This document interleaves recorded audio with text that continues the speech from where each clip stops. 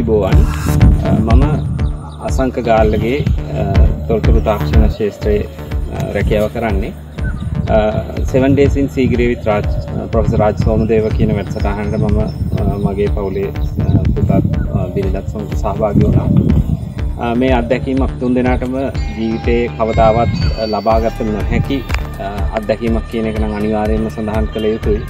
ඒක අධ්‍යාපනය කියන මට්ටමින් එහාට ගිහිල්ලා ඒ අත්දැක් ඒ අත්දැකීම් අපේ ජීවිතයේ මෙච්චරකල් අපි ඉගෙනගත්තු දේවල් වලට ප්‍රායෝගික පැත්තක් සම්බන්ධ කරන සුවිශේෂීම අවස්ථාවක් කියන එක සඳහන් කරන්න පුළුවන්. අපි දැන්දින හතක් පුරාවට මේ වැඩසටහනත් එක් එකතු වෙලා හිටියා. අපි වගේම මේ යට උනන්දුව දක්වන තවත් පිරිසක් සමග විවිධ අංශවල වෘත්තිකයෙන් සමග ඒකත් විශේෂ අත්දැකීමක්. ඒකතු වෙච්ච හැම දෙනාගේම සහයෝගය සමගිය ඒ අයගේ අත්දැකින් බෙදා ගැනීම ඒ සියල්ලම හරිම විශේෂයි ඉතින් මේ කාරණයේදී අපිත් එක්ක සම්බන්ධන විශේෂිතම පුද්ගලයා තමයි මහාචාර්ය රාජ් සෝමදේව මැතිතුමා.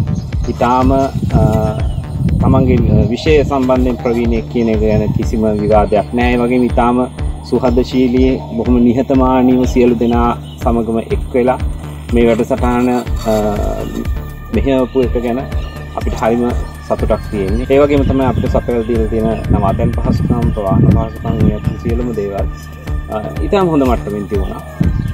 සම්බන්ධ වෙන්න ලැබෙනවා නම් එක් කෙනෙකුගේ ජීවිතේ ඇත්තටම ගත්තොත් ඉතාම වටිනා අත්දැකීමක් වෙනවා. ඒ කියන්නේ කිසිම ගැටලුවක් නැහැ. ඒ නිසා අපි ආරාධනා කරනවා මේ සඳහා සම්බන්ධ වෙන්න කියලා අවස්ථාව තිබෙන සියලුම දෙනාට ස්තුතියි.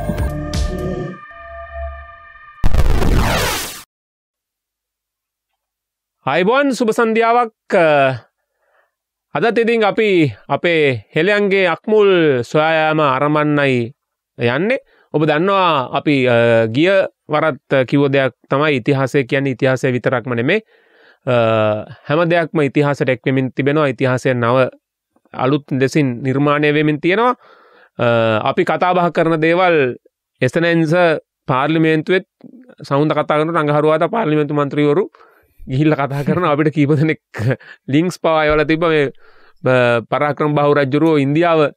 මේ හල්ලන්න ගියක පිළිවතව අදත් අපි ඒ ගැන ඉදිරියට කතා කරනවා. ඉතිං ඇත්තරම ඒ වගේ කොයි විදිියෙන් හරි අපේ මහාචාරයතුමා අපේ වැඩසරණ හර කතා කරන දෙවල් සමාජගතවීම තමයි මේ වෙන්න ඕනේ.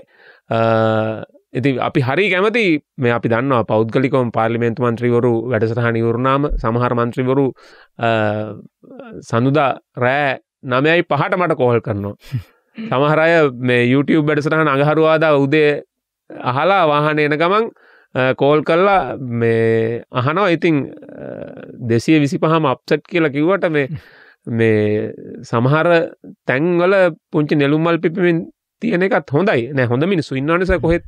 දෙසේ විස්පහම අපි ගත්කට නරකයි කිවට ඇත්තරම අපේ රටේ වටිනා කියන පුද්ගලයොත් පාර්ලිමේන්තුව ඉන්න මේ අපේ වැඩසරාණහන ඉදන මේ කියන්නේ. යමක් කරන්න හදන උදවිය ඉන්න ඉතින් ඒ ගැන අපිට සන්තෝෂයි. මේ ඒ මෙච්චර කිවේ මොකද පාර්ලිමේන්තු වගේ තැනක උදවිය පාර්ලිමේන්තු පුස්තකාල තමයි පාර්ලිමේන්තු පරිශ්‍රය අඩුවම පරිහරණය වෙන තැන කියලා පාර්ලිමේන්තු මහලේකම්වරයක් කියලා තිබුණා ඉතිං ඒක හින්දා මේ ඕම හරි දැනුම ලබාගන්න ගැන අපිට සතුටුයි. අපි සාකච්ඡාවට එන්න කලින් මේ ඔබ අපි බලංගන්නවා නං මේ අපේ YouTube වැඩසටහන පටන්ගන්නකොට අපේ අර දවස් සතේ සීගිරි ගමන සෙවන්ඩේසින් සීගිරිය විත් ප්‍රවිස් රාජ්සෝම දෙව වැඩසටහනේ මේ සභාගි වෙච්චාය තමන්ගේ අත්දැකීම් කියන පුංචි සටහනක් අපේ YouTube වැඩසටහන බලන කට්ටියට කලින් විකාශනය කරනවානේ. ඉතින් දැන් මේ වැඩසටහන්නට කලින් විකාශනය වනේ අපේ ගාල්ලගේ පවුලම. අසංක ගාල්ලගේ මැතිතුමා පුංචි පුතා බිරිඳ මේ දවස්තුනම අපිත් හිටිය. ඔහු තොරතුර තාක්ෂණය පිළිබඳ විශෂඥයක් ලංකාවන්න ඉතින් ඒ මුළු පවුලම එකතු වෙලා දැන් මොකද මේ බොහෝ දෙනෙක් අහනවා දැන් අපි වෙන්දට සීගිර ගියාම මේක වැඩසටහනක් විදියට එකතු කරනවා නිසා දැන් මේ 7 days in සීගිරියේ කෝ වීඩියෝ එක කියලා. ඉතින් අපි වීඩියෝ එකක් කරන්න නෙමෙයි මේ ඒ ඒ ගමන ගියේ ඔබට වැඩමුළුවක් ඒ අත්දැකීම ලබා දෙන්න. හැබැයි මේ වැඩස්සනහන්ට සහභාග වෙච්ච අසංග කාල්ලගේ මහත්මය ඇතුළේ පවුලේ උදවිය සෙවන්ඩේසින් සීගිරිය විත් ප්‍රවිසරාජ්සෝම දේව කියලා මේ වැඩසටහන පිළිබඳව දවස් හත සංශිප්ත කල්ලා ලස්සන පුංචි වීඩියෝ එකක් හදලා තියෙනවා. අ, YouTube නාලිකාව බලන්න කට්ටියට මෙතන මේ කෙරෝලේ උඩ ලිංක එක දැන් දිස්සෙනවා. එතනින් ඒක බලන්න යන්න පුළුවන්. අ, නැත්තං මේ වැඩසටහන වැඩසටහන් තුනම අවසන් වෙලා තුන්ගනි වැඩසටහන එන්ස්ක්‍රීන් එකේ අ, ඒ වැඩසටහන අපි පල කල තින කැමති කෙනෙක්ට මේ දවස් සතේ අපි අ, ගත කරපු විදිහ පිළිබඳව යම් අදහසක් අ, ගන්න පුළුවන්කම තියෙනවා. හරි අපි කතාවට එන්ඩිසල තව දෙයක් කියාගෙන යන්න ඕනේ. මේ මොකද ක- සාකච්ඡාවට ගියන් පස්සේ ආය මේවා කතා කරන්න හම්බෙන්න තින්ද මේ පණවිඩ කියන්නේ. ඊළඟ සෙවන්ඩේසින් සීගිරිය අ, වැඩසටහන ලබන අවුරුද්ධ මාර්තු මාස තමයි යොදාගෙන තියෙන්නේ. මේක මේ කලින්ම කියන්නේ මොකද විදේශ ගත ශ්‍රී ලාංකිකයෝ බොහෝ දෙනෙක් මේ වැඩසටහන ගැනස අහනවා. ඉතින් ඔවුන් අ, කල්තියාම ලංකාවට එන්න නිමාඩු ලෑස්ති කරගන්න ඕනේ. ඒක හින්ද අපේ විදෙස්ගත මිත්‍රයන්ට කියන්නේ අ, අගෝස්තු ම- ම- මාර්තු මුල් වකවාන. පලෙන්ද ඉනම් පාලසෙන්ද වගේ දවස්ටික් ගන්නකො. අ, ඒ කාලය තුළ අපේ ඊළඟ අ, වැඩසටහන අපි යොදාගෙන තියෙනවා. දැම්ම පිටරට ඉන්න අය නිමාඩු දාලා යාටිකට් බුක් කරගෙන වීස ලෑස්ති කරගෙන ඉන්න ලංකාවට එන්න. ඔක්කොටම කලින් මේ අපේ පලවෙන දුරකතනංකයට කතා කරලා කියන්න ඔගොල සභාගෙන කියලා. මොකද ගියසරේ මට මතකයිස මේ ප- වැඩසටහන් පටන්ගණ්ඩ කලින් දවස රෑ දහයට එක්කෙනෙක් කතා කරලා කියන මම මේ කොරියා විදන් ආව හෙට ඉදමට වැඩසරට සාමාගේ නොන කිය ඉතින් අනේ අපි ඒ අපස්ථායට පත් කරන්න එපා. අ, හරි අපි සාකච්ඡාවට එමුස. අ, මේ පහුගේ දව දවසල අපි දැන් ගිය වැඩසටහන් දෙකේම මේ සීගිරී අපි ඔය අ, ම්, වැඩසටහන අවස්- අවසානය මේ ශාස්ත්‍රී සාකච්ඡාවල් අපි කිව්වනේ බොහොම මේ කැශුවලි සිද්ධ වෙ- වෙනකොට මේ එතන ඉන්න අය අහපු ප්‍රශ්න කීපයක් ඉතාමත් අදගස් ප්‍රශ්න විදියට අපි අ, වැඩසටහනට ගෙනාව. එකක් තමයි අ, ඇයි අපි මේ අර සමහර අපි සරලමකුත් කුණු කරෝල වගේ අ, ආහාරවල ඒ ගන්ධට ඒ ගන්ධයට අපි අ, කැමතියයි අ, කියන කාරණය. ඒකම මේ ඊට කලින් ඇහුවා මේ ලෝ මුළු ලෝකෙම පූස බල්ලෝ වගේ සුරතල් සසුන් අ, මේ හීලා කරගත් ඩොමස්ටික් කරපු සතුන්ට අපි ලෝකෙම එක සමාන වචන තමයි පාවිච්චි කරන්නේ. සේ සේ ඉංජු ඉංජු ශෝෂෝ වගේ අ, වචන. මිනිස්සු විධාකාර භාෂාවල් කතා කරද්දි ඇයි බල්ල පූස එක භාෂාවක් කතා කරන එක පිළිබඳව පරිනාමීය විද්‍යාත්මක පැහැදිලි කිරීමක් කරා. ගියසරේ අර අර වගේ ගඳවල් සුවඳවල්වලට ඇයි මිනිස්සු කැමති කියලා ඒත් පරිනාමය ඔස්සේ අ, මහාචාර්යතුමා පැහැදිලි කිරීමක් කරා.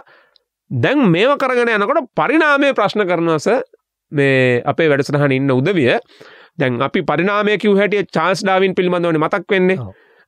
කීප දෙනෙක් විධ අයුරෙන් අහලා තිබ්බා. චාල්ස් ඩාවින්ගේ පරිනාමය ඇත්තක්ද? දැන් ඒ පිළිබඳව ලොකු ප්‍රශ්න තියෙනවා නේද ලෝක කියලා?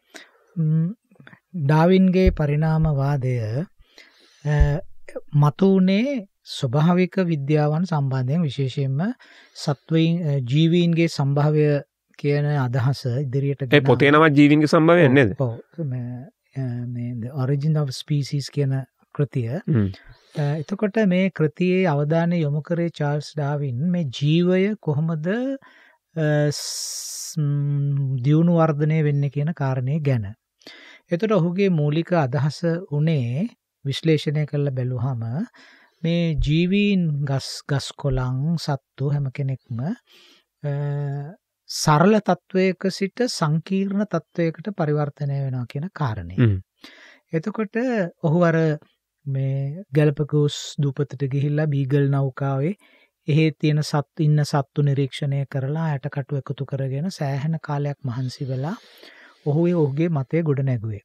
එතකොට මොකද මේ කාලය වෙනකොට අපි දන්නවානේ මේ මේ මිනිසා සහ ලෝකය පිළිබඳව තිබුණේ ආගමික විශේෂයෙන්ම ක්‍රස්තියානි ආගම මැවුම් කාර සංකල්පය තිබුණ නේද මැවුම් මැවුම් වාදය. වාදයක් නැතිබුණේ හ්ම්. එතකොට මේ අ, විශේෂයම යුරෝපයේ පුනරුදයෙන් පස්සේ දාසයවැනි සතවර්ශයේදී ඇතිවෙච්ච සුවිශේෂී පුනර්ජීවනය ආර්ථික විද්‍යාත්මක ඒ පුනර්ජීවයෙන් පස්සේ බුද්ධිමත් භාවයක් ඇති වුණන. අපි කියනගේ පුනරුද බුද්ධිමය භාවය කියලා. රෙනේසන්ස් සින්ටෙලිජන්ස් කියලා අපි කියනවා. එතකොට මෙන්න මේ පුනරුද්ධ බුද්ධිමය භාවය ප්‍රතිඵලයක් තමයි මේ ඩාවින්. හ්ම්. එතෝ ඩාවින් පමණක් නෙමේ ත හුඟක් අය හිටිය පුනරුදේ ප්‍රතිඵල වෙච්ච ඉතින් මෙනගත්තිය චාල්ස් ඩාවින් කියන්නේ ක්‍රස්තියන් පූජකවරේ පූජකවරේ ඔය ඥානය ඉදිරිපත් කරපු හුඟක් දෙෙන පූජ පූජකවරු.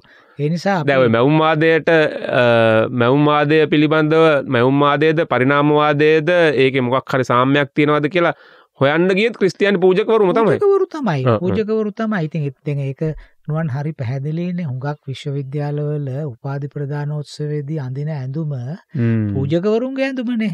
එතකොට ඥානය තිබුණේ ලෝගුවක් වගේ එකක් හ්ම්, හ්ම්. එතකොට මේ ඒ ඒ ඒ බටහිර නමුත් ආසියාවේ ඥානය තිබුණේ ඊට වඩා වෙනස්. ඒත් ආගමික මධ්‍යස්ථාන කේන්ද්‍ර කරගෙන. අපේ රටේ මහා විහාරය අබේගිරිය අබේගිරිය ඉන්දියාව නාලන්දා වික්‍රමශීලා ජගන්නාථ. එහෙම වෙන්ඩ හේතුවස ඔවුන්ටද නිනව්වක් තිබුණ මෙව කරන්න ඔවුන් සාක්ෂරතාවන්ට විවේකයක් තිබුණනේ සාක්ෂරතාව. ප්‍රගුණ කරන්න අය වගේ දේවල් පොත්පත් ඇසුරු කරන්න එනිසා ඔවුන් අතර තමයි ඒ ඥානය කියන එක. අපිට තියෙන ප්‍රශ්න හිකට තිබුන්නන පවුල් තිබුණේ ජීවත්. කරන්න ළමයි ස්කෝලයවන්න එහෙම ප්‍රශ්න තිබුණේ නෑ. කන්න හොන්න දෙන්න එහෙම තිබුණේ ඔව්. නෑ. ඒ නිසා ඒගොල්ලෝ ඥානය පතල කිරීමේ මධ්‍යස්ථාන බවට පත් වුණා. ඉතින් ඩාවින් ගැන කියන්න ගියාම ඩාවින් පමණක් නෙමෙයි. ද ඔය මේ ෆාදර් මැක් එනරි කියලා පූජකවරයෙක් හිටියා එංගලන්තේ. ඔහු තමයි කිව්වේ මේ ගල් ගුහාවක් හාරලා මේ මේ මේ මේ ওই දෙවියන් වහන්සේ ලෝකෙ මැව්වයි කියන එකට වඩා පැරණි කාලයක මේ පෘථිවියේ මිනිස්සු හා සත්තු ජීවත් වෙලා ඉඳලා තියෙනවා කියලා. ඉතින් ඒ නිසා ඒ ඥානය සම්බන්ධයෙන් ඒ වගේ ඊටාම ප්‍රගතිශීලී ක්‍රිස්තියානි පූජකවරු හිටියා. හ්ම්, ඔවුන්ගේ හ්ම්. ඥානයට විශාල දායකත්වයක් දැක්වුවා. ඒක අපි. අමතක කරන්න නරකයි. එතකොට මේ ම්, ඔය සෙන්ට් සයිමන් වගේ අය. එතකොට ඉතින් මේ ඩාවින් ඉදිරිපත් කරපු මේ ජීවීන්ගේ සම්භවය පිළිබඳ මතය විවේචනයට පත් වුණ හේතුවක් තියෙනවා. මොකද ඩාවින් ඉතා සරල රේඛීය පරිණාමයක් ගැන කිව්වේ මෙහි ඉරක් ඇඳා වගේ. නමුත් පහු කාලයේදී අපිට පේනවා මේ මානව පරිණාමය එහෙම සරල රේඛීයව සිද්ධ වෙච්ච එකක් නෙමෙයි කියලා. දැන් ඔස්ට්‍රලෝපිතිකස් කියන මුල්ම මානවයාගේ ගල් ගුහාවල සමකාලීනව හෝමෝ හැබිලිස් ජීවත් වෙච්ච බවටත් සාක්ෂි දැන් තියෙනවා. ඒ පුරා විද්‍යාත්මකව. එතකොට මේ පරිණාමය කියන්නේ එහෙම තනි රේඛාවක් නෙමෙයි. ඒක අතු බෙදිලා ගිහිල්ලා අතු බෙදිලා ගිහිල්ලා සමහර විට වර්ග දෙකක්. දැන් ඔස්ට්‍රලෝපිතිකස් සහ හෝමෝ හැබිලිස් එකට ඉන්නවා. ඒකන එක්කෙනෙක් කිවරලා අනිත් එක්කෙනාව නෙවේ එක්ක නෙමෙයිනේ. ඒ කියන්නේ එක්කෙන ජීවත් වෙන කාලෙම අනිත් එක්කෙන පටන් අරන් ගිහිල්ල අරයත් සමගාමීව ගිහිල්ල ඉවත් වෙලා තියෙනවා ඉවත් වෙලා තියෙනවා. දැන් අපි හිතන්නේ ඩාවින් කිව් ආකාරයට නම් දෙකේ පන්තියේ පාස් වුණාම තුනේ පන්තිය. තුනේ. පන්තියේ පාස් වුණාම හතරේ පන්තිය. අර පරිනාමවාදය ගැන තියෙන මේ මානව පරිනාමවාදය ගැන තියෙන චිත්‍රෙත් ඒකන තියෙන අර. මෙහෙම ඇවිදගන්න ආ, වඳුර කෙලින් වෙලා කෙලින් වෙලා කෙලින් වෙලා එන එකක්න තියෙන්නේ තියෙන්නේ. එහෙම උනේ. එහෙම උනේ නැහැ. දැන් උද හොඳම අපි දන්න උදාහරණය තමයි මීට අවුරුදු 30000කට උඩදී හෝමෝ නියන්ඩතාලෙන්සිස් කියන මානවයා ජීවත් වෙච්ච බවට සාක්ෂි තියෙනවානේ අන්තිම හෝමෝ නියන්ඩතාලෙන්සිස් වරයා. හ්ම්. ඒතර නියන්ඩතාලෙන්සිස් වරු එක්ක හෝමෝ සේපියන් වරු අ, ජෛව විද්‍යාත්මකව සබ සබ- සම්බන්ධ වෙලා තියෙනවා. ඔවුන් එක- එකතු වෙලා තියෙනවා. ඒ විතරක් නෙමෙයි දැන් අපි දන්නවානේ නියන්ඩතාල් සහ හෝමෝසේපියන් අතර ඩෙනිසෝවා කියලා මානවයෙක් ගැන මේ මෑතකදී හොයාගත්ත. එතකොට මේ මේ පරිණාමය කියන එක එහෙම රේඛාවක් කියන එක තමයි විවේචනයට ලක්ුණේ එක පැත්තකින්. එතකොට ලෝකෙ කිසිම දෙයක් රේඛීය නෑ. දැන් අපේ ජීවිත දිහා හැරලා බැලුවත් අපේ ජීවිත රේඛීය නෑනේ. අපි හිතපු දේවල් නෙමෙයි දැන් වෙලා තියෙන්නේ. ඒවා විවිධ අතකට බෙදිලා ගිහිල්ලා බෙදිලා ගිහිල්ලා බෙදිලා ගිහිල්ලා එහෙම සංකීර්ණත්වයට පත් වෙනවා. එතකොට මානව වර්ග දෙකක් එක කාලයක ජීවත් වෙනවා. දැන් නියන්ඩතාලෙන්සිස්ලා සහ හෝමෝ සේපියන්ස්ලා එක කාලයක ජීවත් වෙනවා. නියන්ඩතාලෙන්සිස්ලාගේ මොළ පරිමාව හෝමෝ සේපියන්ස්ලාගේ මොළ පරිමාවට වඩා විශාලයි. ලොකුයි ලොකුයි. එයා එහෙම හරි බුද්ධිමත්. එයා හැඩි දැඩි කාය ශක්තියක් තිබිච්ච කෙනෙක්. දැන් අද ලෝකේ තියෙන ප්‍රශ්නයක්. කියුබික් සෙන්ටිමීටර 1450ක මොලයක් තිබිච්ච නියන්ඩතාල්ව වඳ වෙලා. කියුබික් සෙන්ටිමීටර 1350ක මොලයක් තියෙන හෝමෝ සේපියන් ලෝකය ආක්‍රමණය කරලා ලෝකය අල්ලගත්තා. ලෝක විතරන්නේ දැන් අභ්‍යෝකාශරත් අභ්‍යවකාශයත් ගත්තා යනවා. එතකොට අර මොළ පරිමාව වැඩි නියන්ඩතාලෙන්සිස්ව බිම දාලා හ්ම්. ඒගොල්ලන්ව වඳ වෙන්න ගිහිල්ලා කොහොමද මේ ඊට වඩා අඩු මොළ පරිමාවක් තියෙන හෝමෝසෙපියන් බලවත් ඔව් මේ වගේ ප්‍රශ්න තියෙනවා. ඉතින් ඒවට උත්තර තියෙනවා. ඒක අපි වෙන වැඩසටහනක වෙන අනිවාර්යෙන් කතා මට මට මාව කුතුහලයේ දන්නවන ප්‍රශ්නයක් ඉදිරිපත් කරේ තාම වැදගත් අපි ලබන සතියේම කතා කරලා සර්. අපි ඒක කතා කරමු ඇයි හැඩි මොලේ වැඩි නියන්ඩතාලෙන්සිස් වඳ වෙලා මේ ඊට වැඩිය සාපේක්ෂව මොලේ අඩු මේ අපි හෝමෝසේපියල්ලා මෙච්චර ගමනක් ගිය කොහොමද මෙච්චර ගමනක් ගේ කොහොමද කියන. එක අද ලෝකයේ සාකච්ඡා කරලා තියෙන අපි ලබන සතියක කතා කරමු. එතකොට ඔන්න ඔය රේකීය පරිණාමය පිළිබඳ අදහස නිසා මේ ඩාවින්ගේ පරිණාමවාදය විවේචනයට ලක් වුණා. අනිත් එක දෙවැනි කාරණය තමයි විවේචනයට ලක් වෙන්න දැන් ඕක ජීව විද්‍යාවේදී අ, ඩාවින් කිව්ව අදහස පසු කාලේ සමාජ විද්‍යාඥයෝ සමාජය පැහැදිලි කරන්නත් ගත්තා. දැන් ඩාවින් පරිණාමවාදය කියනකොට කිව්වේ. ජීවීන්ගේ පරිණාමය සිද්ධ වෙනවා ප්‍රධාන කාරණා දෙකක් ඔස්සේ. එකක් ස්වභාව ධර්මය විසින් පවතින්ඩ වඩා උචිත සත්තු තෝරගන්නවා මේ පැවතීමේ තරගේ නිසා. මරණය එයයි වැඳ වෙලා ඔව්, ඔව්. යනවා දැන් ගොළු බෙල්ලෝ ගෙම්බෝ විත්තරදාන ප්‍රමාණයට ඉස්ගෙඩියෝ හිටියට ඒ ඉස්ගෙඩිය ඔක්කොම ටික ගෙම්බෝ වුණොත් එහෙම අපට ගෙම්බ විතරයි ලෝකඉන්න ලෝකේ අනික දන්නවනේ ගෙම්බෙත් දෙන්නෙක් ඉන්නකොට තියෙන කරච්චලි නේ වැස්ස දවසට. නේද? අර ඉස්ගෙඩිය ඔක්කොම ගෙම්බ වුණොත් එහෙම මේ අනික ඒ ගෙම්බන්ගෙන් කතා කරන්න පුලන් ශබ්ද නගන්න පුලන් පිරිමිගෙන් බට විතර විතරන. හරිද. එතකොට හොද වෙලාවට. හොඳ වෙලාවට මේ ඉතින් මේ ඉති ඒකැන ස්වභාවික වර්ණය ශක්තිවන්තයා පමණක් ජයගැනීම කියන සංකල්පය ඔහුගේ එක න්‍යායක්නේ අ, අ. ස්වභාවික වර්ණය කිය ලපි කියන්නේ. ඉංග්‍රීසි භාෂාවෙන් ඉගෙන ගන්න අපේ දරුවයින් වන නැචුරල් සිලෙක්ෂන් කියලා හඳුන්වන්නේ. එතකොට ඒක දැනගන්න පුළුවන්. ඊළඟට ඔහු දෙවනියට කිව්වේ මේ පරම්පරාවෙන් පරම්පරාවට ඒ ලක්ෂණ ගෙනියනවායි කියන එක. ප්‍රවේණි ලක්ෂණ ගෙනියනවා. ද ඩාවින්ගේ කාල වෙනකොට ජාන පිළිබඳ අදහස එහෙම ස්ථාවර වෙලා තිබුණේ දියන්න පිළිබඳ ලොක් කතාවත් තිබුණ නෑ නැද? එහෙම ජාන විද්‍යාව. ගැන එහෙම දෙයක් තිබුණේ මේ නෑ බෞතිකව ඇටකටුවම බල්ල තමයි මේ ඩාවින් තීරණය කර. කිව්වේ. හ්ම්. කිව්වේ ප්‍රවේණියෙන් ගෙනියනවා. ප්‍රවේණිය ගැන ඉන්හෙරිටන්ස් කියන අනුපිළිවෙලනේ. ප්‍රවේණියෙන් ලක්ෂණ අරගෙන යෑමෙන් මේක ඉස්සරහට යනවා. ඒ කියන්නේ ජනිතයාට ජනනය කළ පුද්ගලයාගේ ලක්ෂණ සම යනවා. තාත්තගේ ලක්ෂණ පුතෙකුට දුවෙකුට යන්න පුළුවන් කියන එකට. සරලෝ කිව්වොත් ඉති ඔය දෙක අනුව මෙහෙම කරහම මේ සමාජ විද්‍යාඥෝ ඩාවින් කියපු පරිනාමවාදය ආදේශ කරන්න හැදුව සමාජයටත්. කැන සමාජයත් පරිනාමය වෙනවා.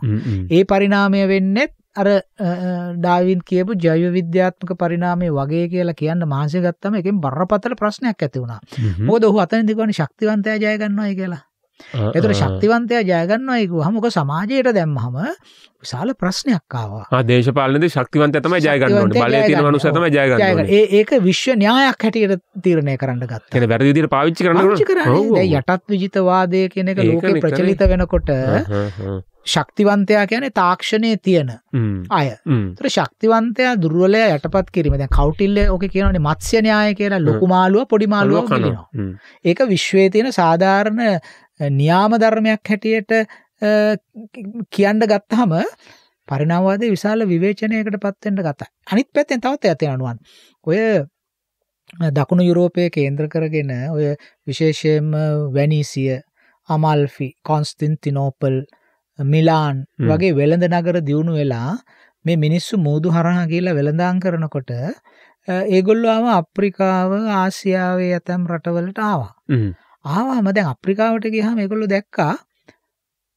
ඒ නැව්වලින් ආපු ඒ වෙළෙන්දන්ට වැඩිය වෙනස් කට්ටියක් අප්‍රිකාවේ ඉන්නවා. ඇඳුන් නැතුව ගල්ලා උදාරගෙන දඩයන් කර කර. තොර ඒගොලන් ලොකු ගැටලුවක් ආවා.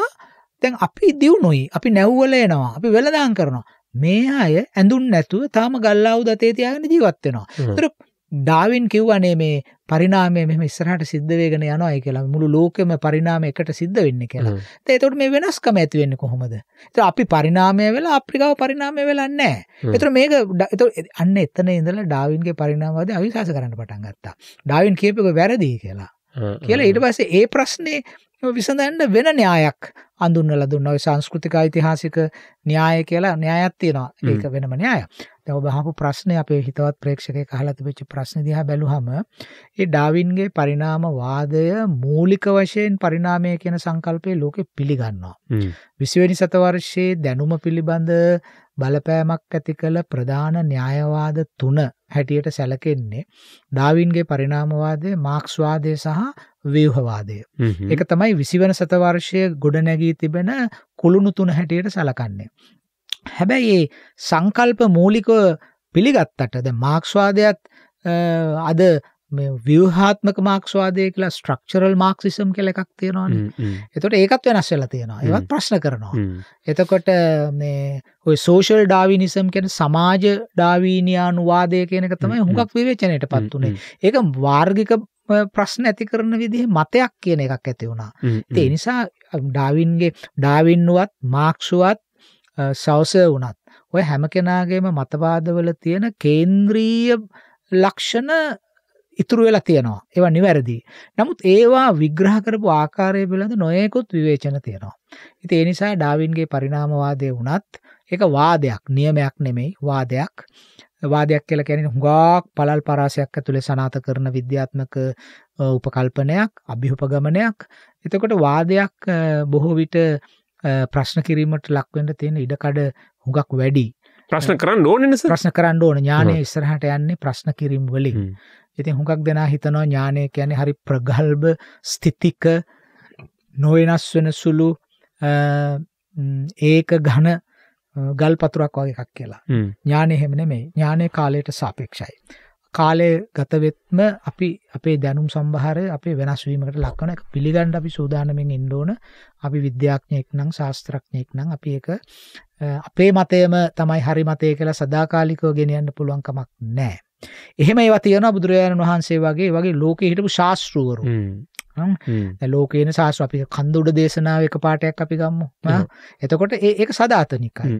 සුද්ද වූ කුරාණයෙන් පාටයක් ගම්මු ඒව සදාතනිකයි. ඇති කොන්ෆියසක්ස පාටයක් ගම්මු ඒව සදාතනිකයි. එතොට ඒ කියන්නේ දර්ශනිකයෝ චින්තකයෝ ශාස්ත්‍රවරු කියපු දේවල් හැරෙන්ඩ ඒවා බුද්ධිමය වියමංන්නේ සබ්බේ සංකාරා අනිච්චාතිය කියන්නේ ඒක ත්‍රයිකාලිකයි. එක අතීතයටත් අයිති වර්තමානයටත් අයිති අනාගතයටත් අයිති. අසල්වසියට ප්‍රේම කරන්න ගම එක අසල්වසයට ප්‍රේම කරන්න ගොම එක සදාතනිකයි. එක සදාතනිකයි. කඳ උඩ දේශනාවගෙන එක සදාතනික සත්‍යයක්. ඒ අපට ප්‍රේම කිරීමෙන් තමයි තේරුම් ගණඩ පුළුවන් වෛර කිරීමෙන් කිසි දෙයක් තේරුම් ගන්න පුළුවන් වෙන්න නෑ ඉතින් අපි මේවා අපි ඒකයි. ආගම් කියනව දර්ශනවාදව කියනව සර්වකාලීන අපි ගැන සර්වත්‍ර ව්‍යාපී විශ්වීයයි ඒව සදාක යුනිවර්සල් ඒවට ඒවට කාලය පිළිබඳ ප්‍රශ්නයක් නෑ. ඒවා අකාලිකයි. නේ අකාලික ධර්ම. එතකොට මේ අර ඒ වගේ වෙනස් නූනට මේ විද්‍යාඥයෝ ලෞකික දේවල් සම්බන්ධයෙන් කියන අදහස් උදහස් වල මූලික සංකල්ප ස්ථාවර තිබුණත් ඒවා වටා එතී තිබෙන ඇතැම් අදහස් උදහස් විවේචනයට ලක්වල සමට ඇත්තක් කියන ආකාරය වෙනස්කන් තියෙන පුළුවන්. ඇත්ත නොවෙනස්ව තියෙනවා. හැබැයි කියපු ආකාරය අපි වෙනස් කරන්න තියෙනවා. මට මතක එක්තරා දර්ශනයක් කියලා තිබුණා. හැම වෙලාවෙම අපි හිටගන්නේ මේ ලෞකික දේවල් සම්බන්ධයෙන්. හැම දේවල් හැම වෙලාවෙම අපි හිටගන්නේ සත්‍යය උඩ නෙමෙයි සත්‍යයට ආසන්න ලක්ෂයක. එතකොට අපි ආසන්න ලක්ෂයක හිටගත්තහම එක අහක බලලා ආය බලනකොට සත්‍යය අපෙන් ඈත් වෙලා. එතකොට අපි ආය උත්සාහ ගන්නවා සත්‍යයට ළඟ තැනක් හොයාගන්න. එතකොට අපේ බුද්ධිමත් ප්‍රේක්ෂකය හයි මොකක්ද සත්‍යය කියලා කියන්න කියලා. එතකොට සත්‍යත් සාපේක්ෂයි. සත්‍ය අපේ ශාස්ත්‍රෝරුන් කිව් සත්‍යයන් හැරුණු විට අපේ මේ ලෞකික සත්‍යයන් කියලා අපි විශ්වාස කරන මොකක්ද ඇත්ත කියලා පිහනවානේ ඇත්ත කියන්නේ බොහෝ දේවල්වලට සාපේක්ෂ ප්‍රපංචයක්. නමුත් ශාස්ත්‍රෝරු කියලා තියෙන දෙවන විද්‍යාඥෝ කියන දේවල්ම දැන් විද්‍යාවේ ඉතිහාසය තුළ කියපු දේවල් කියක් වෙනස් කරලා තියෙනවාද නිවටන්ගේ නියමයන් වනත් වෙනස්සලා දැන්ගම සම්භාව භෞතික විද්‍යාව කලසිකල් ෆිසික්ස් කියන එක ඇතුළ තිබිච්ච සයිසැක් නිවටන්ගේ මතවාද නෙමයිනි අද තියෙන්නේ. ඕ දැන් දැන් නිවටන්ගේ ජනප්‍රියම නියමය අර ඇක්ෂන්න් රියක්ෂන් මේ කතාව ප්‍රතිවිරුද්ධ හැම එකටම ප්‍රතික තියෙනවා කියන එක. ඒකස කොන්ටම් යන්ත්‍ර විද්‍යාවෙන් එක නිශේධනය කරානේ ඒක තමයි. අද විශ්වාස කරන්න කොන්ටම් බෞතික කොන්ටම් බෞතික ශක්ති පොදි වශයෙන් මාරුවෙනවා කියන දැන් විශවාස කරන්න. එතකොට මේවාගේ හෙම එක දැන් උගන්නවත් එක්කන ඒක මේ නිවටන්ගේ කාරණය අදාල වෙන්න අන්වීක්ෂික ද්‍රවයන්ට විතර අන්වීක්ෂකෙන් බලන්න පුලන් කාරණාවලට විතරයි. ඉති ඒ නිසා අපි දැනගත යුතුදේ තමයි දැන් ඩාවින් උනත් මාක්ස් උනත් තවකවරුවර චින්තකයක් වුණත් කියපු අදහස්සේ සාරය නොවෙනස්ව තියෙනවා. නමුත් ඒ සාරය උඩ ගොඩනගා තිබෙන අර්ථ විවරණ ව්‍යාඛ්‍යාන ඒවා පිළිබඳ විවේචන එන්න පුළුවන්කම තියෙන පරිනාමය කෙන අපි දන්න ශක්තිය පරිනාමය වෙනවානේ. චාලක ශක්තිය විද්‍යුත් ශක්තියට විද්‍යුත් ශක්තිය ආලෝක ශක්තියට ආලෝකය තාපයට. මෙකි පරිවර්තනය වෙලා පරිනාමය වෙමින් යනවා. අපේ ජීවිත පරිනාමය වෙනවා සිද්ධි පරිනාමය වෙනවා. සමාජ පරිනාමය වෙනවා. ඒ පරිනාමය ගැන සංකල්පය විශ්වීය අකාලික දෙයක්. පරිනාමය නවතින් නෑනේ. පරිනාමය ගැන එකතකින් වෙනස්වීම මේකට විද්‍යාව වෙන වෙන වචනත් හදල තියෙනවා. අස්ථාවර සමතුලිතතාව ස්ථාවර සමතුලිතතාව හොම කියලා අලුත් වචනත් හදල තියෙනවා. ඉතින් කොහොම හෝවේවා වෙනස්වීම කියන එක තමයි නොවෙනස් වන එකම ධර්මතාව. එතකොට ඒවා ඒවා ඒවා යථාර්ථවාදී අකාලික දේවල්. නමුත් ඩාවින්ගේ මතය පමණක් නෙමේ අද තියෙන හුඟක් මත විවේචනය වෙන්න ප්‍ර සමහර දවසක විශ්වනි සතවර්ශය අසහාය විද්‍යාඥාවුණු ඇල්බර්ට් අයින්ස්ටයින් ගේ අදහස මුළුමනිම විවේචනය සාපේක්ෂතාවාදය. මොය ඊ සමනයම්සි වර්ගය කියන අදහස. සමහරට මුළුමනින්ම විවේචනය වෙන්න ඉඩදේ. දැ දැන් ඒ- ඒ- ඒක මත මේ ලෝකයේ බොහෝ දේවල් නිර්මාණය වෙලා තිබෙද්දිත් තිබෙද්දිත්. දැ ඕක මතන සක්ෂ ප්‍රාපේක්ෂතාවාදය එක් තමයි මේ ඔබට අපිෝ පේෙන් එක් පැත්තකින් ගත්තොත්තේම. ඒක මත පදනම් වෙලා මේවා නිර්මාණය වෙලත් මේවා මේ මේ මොහොතේ සත්‍යය හැටියට පැනිලදිමුණත් සමහල්ලට තාසිවසකින් මේක නෙමේ වෙන එකක් හිද තමයි මෙහම වෙන්න කියලා කියන්න පුළුවන්. මොකද සමහරවිට අන්තරීක්ෂයේ ඇතිවෙන යම් වෙනස්කම්. දැන් අපි දැක්ක පහුගේ දස්සල පෘථවිය බ්‍රමණවේගේ වැඩි වුණ වැඩි වුණා එතර පෘථවිය බ්‍රමණවේගේ සුළු ප්‍රමාණයකින් වැඩි වුණහාම අර සම්මත කාලයට මොකද වෙන්නේ අපි හුඟක් දෙවල් තීරණය කළ තියෙන අහස්්‍යත්‍රා යන්නේ. එතකොට මොනාද ඇටමික් ලොක් සරවා මේවා ඒ ඔක්කොම අපේ අපේ ශරීරය ඇතුළේ තියෙන ජෛව විද්‍යාත්ම කොරලෝසු බයලෝජිකල් කලොක්ස් හරි මේ හැම තැනකම තියෙන මේ කාලය පිළිබඳ දෙයක්. එතකොට පෘතුවිය ඒ ඔක්කොම සිද්ධල දෙන පෘතිවිය නිශ්චිත වේගකින් කැරගෙනවායි කියෙන ස්ථාවරය හිදන්න එතර පෘතිවේ වේගේ වැඩි වුණා කියලා කොහම මේ මනද මිලි තප්පර ගානකින් මිලිසකන්ස් ගානකින් හොඳ ඉදිරියේදි මේක තව වැඩි වුණොත් එහෙම. එතකොට අපි සම්මත කරන් තියෙන දැනුම මේ හුඟක් වෙනස්වීමට ලක්වෙන්න ඉඩකඩ තියෙනවා. එනිසා විද්‍යාත්මක අදහස් කියන දේවල් වනත් ඒවා පරම සත්‍යය වෙන්නේ එක්තරා සාපේක්ෂ කාලරාමුවක් ඇතුළේ වෙන්න පුළුවන්කම තියෙනවා. ස්වභාව ධර්මය තුළ සිද්ධ වෙන හැබැයි සමාජ විද්‍යාවන්ට සාපේක්ෂව ස්වභාවික විද්‍යාවන්ගේ දැනුම ස්ථාවරයි. එමනත්තන් අපට ශල්්‍ය කරම කරන්න බෑ අපට හස්්‍යයාත්‍රාවල යන්ඩ බෑ. ඒවා ස්ථාවර නැත්තා එත මෙතනින් පැලුවම හදවත මේ පැත්තේ වම් පැත්ත තියෙනවා කියලා. ඒක ඒක ඒක ඒක ප්‍රත්‍යක්ෂයිනස ප්‍රත්‍යක්ෂයක්නේ ඉති එනිසා ඒ- ඒ- ඒ නූතන විද්‍යාවේ දැනුම ස්ථාවරයි නමුත් අපි තේරුම් ගණ්ඩ ඕන දෙයක් තමයි ඒ හැම දෙයක්ම සාපේක්ෂයි. ඉතින් මහාවිද්‍යාඥත් සාපේක්ෂතවාදයක් නැකිවේ හරි මට මතකා එක තැනක අයින්ස්ටයින්ම තමයි එක කිවේ සාපේක්ෂතාවාදය ගැන හපු ප්‍රශ්නකට.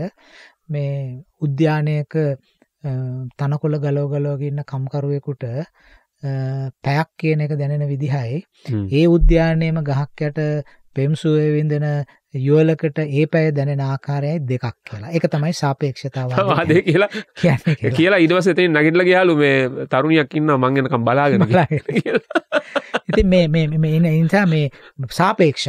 සාපේක්ෂ. ඒක කියන්නේ ඔබ ඔය ගැන කල්පනා කර කර ඉන්න මට මේ තරුණයක් ඉන්න බලාගෙන යන්න ඕන එතෙන්ට කියලා. ඉස් මේ ඔක්කොම අදහස් සාපේක්ෂ ආ. ඉති එනිසා සමහරවිට අපි ගොඩනගල තියෙන ඉතාම ඉතාම ස්තිර විද්‍යාත්මක දැනුම විද්‍යාත්මක සමීකරන විද්‍යාත්මක සාමාන්‍ය කරන අපි පෘතුවී හැසිරීම නිසා වෙනස්වෙන් ඉඩතියයි දැන් අපිට ආ- ආසන් අත්දැකීමන වේගේ වැඩි වෙච්ච එක පෘතුවී එතකොට අපි ඉපදිනකොට තියෙන වේගෙන වෙද අපි මැරෙන්න්න යනකොට තියෙන වේගේ.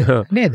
එතකොට න- සමහර දේවල් අපට ඇහැට හම්බෙන්නේ නෑ. දැන් හේලිගේ වල්ගතරුව අපිට ඔන්නන් ජීවිතේ තාම වාසනාවන්තයකුට ඕක දෙපාරත් දකින්න පුළුවන් අවුරුදු හැත්ත දෙකට සර පායන පායන හැත තොටිල්ලෙදි දැකපු හේලිගේ වර්ගතරුව මේ මරඇදේදී නැවත දකින්න යට ඉඩකඩ තියෙයි. එතර සමහර විශ්වීය සිද්ධි තියනවා අපේ ජීවිත කාලයත් එක්ක සාපේක්ෂ කරන්න බැරි දේවල්.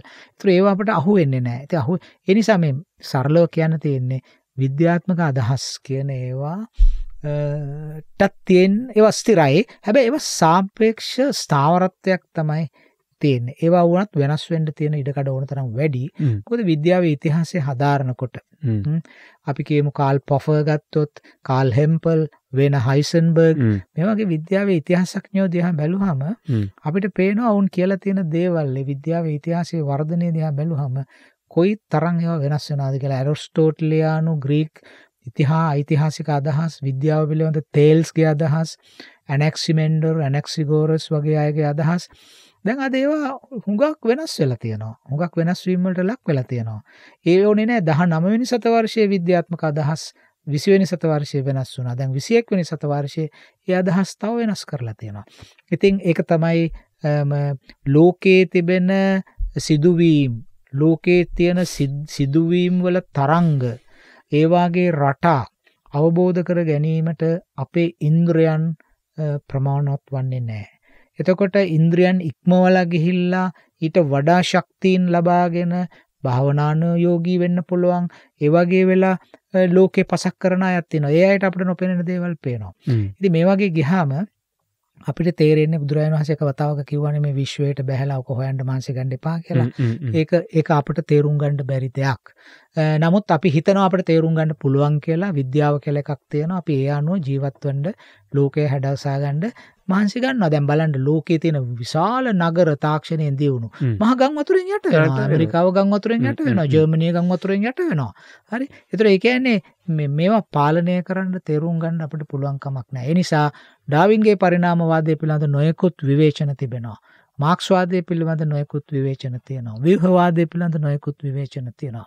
ඒ ඊට පස්සේ ලකාන්ලා ඩැරීඩල ගැනත් විවේශනය ෆූකෝල, ඔව්. සතවර්ශය මැද වෙනකොට. එනිසා අපි තේරුම් ගත යුතු දේ තමයි ඥානය කියන්නෙත් නිත්‍ය ප්‍රපංචයක් නොවන බව. ඔව සරලවස දැන් ආය සංශිප්ත කරොත් අ, පරිනාමවාදය පිළිබඳවන මේ ලෝක ප්‍රශ්න කරෙන්ඩ ගත්තේ චාල්ස් ඩාවින් ඉදිරිපත් කරපු පරිනාමවාදය පරිනාමය කියන කාරණය අපිට දැනට සත්‍යයක් ලෙස ඉදිරියට යන බව පේනවා. හැබැයි චාල්ස් ඩාවින් ඉදිරිපත් කරපු පරිනාමවාදේ අඩුළු හුඩුකං තියෙනවා කියලා මේ උත්තරේ බාරගතන හට ඔව ඒ කියන්නේ රේකීය පරිනාමය පිළිබඳ අදහස මූලික වශයෙන්. මේ සමාන්තර රේකීව නෙමේ පරිනාමය වෙලා තියෙන තැන්තැන් වලින් පිපිපිපිපිපි පරිනාමය උනා කියන කාරණය තමයි. අ, ඒක මර ස හේලිගේ වල්ගතරුව ගැන කිවන ජීවිත සමරලාට එකවරයි දකිින් හම්බෙන්න කියලා. හේලිගේ වල්ගතරුව එකවරක් දකින්න හම්බෙනවා වගේම අපි කාටත් වෙසක් කූඩු නත්තල් ගස් හදන්ඩ ලැබෙන්නේ හැටක්කෝ හැත්තෑවක් කියන එකත් මතක තියාගත්තනම් මංහිතන්නේ දැම් මේක බලන්න කට්ටියන්නම් එච්චරවත් පුළුවන් වෙයිද දන්න හෙමකම බයවෙන්න එපා. මේ ඒ සත්‍යය පසක් කරගෙන හිටියනං ජීවිතය තව පහසුවෙයි තරගෙට දුවන්න කලින්. අපි හැබැයි මෙතනින් පොඩ්ඩක් එහාට යන්න වෙලා තියෙනවා ප්‍රවෘති විරාමය ගන්න ප්‍රවෘති විරාමයෙන් පස්සේ නැවතත් අපි මේ වැඩසටහන සමග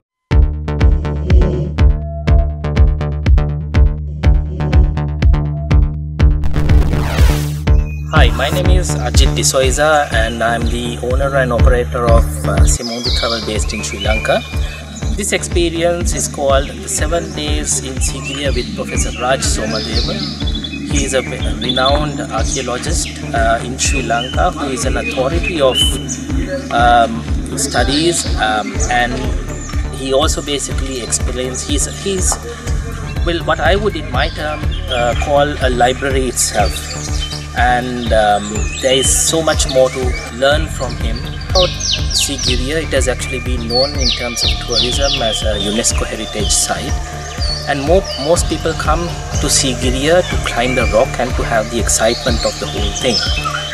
But being here on this seven day program, I have learned that knowledge is key to understanding, and with understanding, you get a better view of the whole sight and uh, sight and sound experience that we uh, gather here in the Sigiriya complex. We are going to um, create a new tourism experience in terms of academic tourism where we're going to organize a series of um, excursions so that we basically take a better understanding of what life used to be the knowledge and uh, the experience the expertise that we actually had many many years ago to the world stage so that people around the world will have actually a better understanding of what Sri Lanka um, has to offer to the basically the world. And I'm inviting all of you, whether you are a foreign uh, tourist or even a local person, come and experience this in Sri Lanka. අපි අ, නැවතත් අන්ලිමිට ස්ත්‍රී වැඩසටහනත් සමඟ ඔබ මේ එකසිය තිස් විසිතුනද තිවිසි හතරද හතරනේ විසි තුනන තිබ්බ ගිය සතේ විසි හතර අපි නැවතත් අල්ලිමිට ශ්‍රී වැඩසරහන සමඟ එකසිය විසිහතරනි වැඩසටහනේ දෙවැනි කොටසත් එක්කයි මේ ඔබ රැඳඉන්නේ අපි පරිනාමවාදය පිළිබඳව චාස් ඩාමින්ගේ පරිනාමවාදය ඇත්තද නැත්තද කියලා මේ කලින් අඩහෝරාවේදී කතා කලා ඒක මගහැරිච්ච උදවිය ඉන්නන මේ මෝතේ රේඩියුව එක යාගෙන ඉන්න උදවිය හරි අපි නරමෙන් ඉන්න උදවියට හරියක මගහැරනනම් අපේ පලවෙනි කොටසේ ඒ සාකච්ඡාව හරි අපූර් සාකච්ඡාව තින ඔබට පුළුවන් බලන්න. අපි ඉතිං සුපුරුදු හැම කෙනාම බලාගෙන ඉන්න අපේ රේකීය පරිනාමය සිද්ධ නොවනත් රේකී ඉතිහාසක අපි ගමන් කරලා තියෙනවනෙස එහෙට මෙහට අතු වීදි වීදි තමයි ඒ රේකී ඉතිහාස ඇත්තාවේ. අපි නතර කරේ බොහොම ලොමු දැහැගැන්වෙන තැනකින්. ඒ තමයි අපේ පරාක්‍රම් බහව් රජ්ජුරුවෝ පාණ්ඩය රජතුමාට ඉන්දයා දකුණු ඉන්දියාව රජෙක්ට විරුද්ධව අපේ සේනාවක් ලංකාපුර කියන සෙනවියාව සූදානන් කරලා එහෙට සටනට සටනට යව්වා. රාමේස්වරයෙන්ෙන් ගොඩ බැහැපූ තැනෙක්ස අපට නවත්තන්න වුණා. එතනින්ද ගමන තමයි අද අද අන්ඩ තියෙනෙ මං හිතන්නේ අපි අපේ හිතවත් ශ්‍රාවකින්ට නැවතත් මතකය අවධි කරගණ්ඩ පොඩ්ඩක් කියමු. පොඩ්ඩක් කියන එක හොඳයි කියලා. ඔබට මතක ඇති අපි පහුගිය සතිය කිව්වා පාණ්ඩ්‍ය දේශයේ පරාක්‍රම පාණ්ඩි කුමාරය සහ කුලශේකර කියන කුමාරවරු දෙදෙන ඔවුන් දෙදනම පාණ්ඩ්‍ය වංශිකයෝ. ඔවුන් දෙදෙන අතර දේශපාලනය පිළිබඳ අරගලයක් ඇති වුණා. අරගලයක් ඇති වුණහම අපට පේන කුලසේකර ප්‍රබල තත්ත්වයක හිටියා. පාණ්ඩ්‍ය පරාක්‍රම පාණ්ඩය ඒ කුලශේකරගේ බලය ඉස්සරහ තරමක් දුරුවල තත්ත්වයෙන් හිටියේ. ඒ වෙලාවෙ තමයි පරාක්‍රම පාණ්ඩය අපේ පරාක්‍රම බහු රජතුමාගෙන් උදව්විල්ලුවේ. එතකොට මේ අපි එදා කිව්වා ඔහු ඔහු කියපු දේ මාගේ සතුරාගේ තේජෝගින්නට හසුවුණු පළගැටියෙකු බඳු වූ මට වජ්්‍ර පංජරයක් වූ ඔබගේ දෙපාමුල සරණයදීමට අවසර දෙනු මැනවී. එතකොට මේ ප්‍රකාශයෙන් අපට පේනවා පරාක්‍රම බාහු රජ්ජුරුවන්ගේ තේජෝබල පරාක්‍රමය කොයි විදිහට පැතිරලා තිබුණද කියන එක.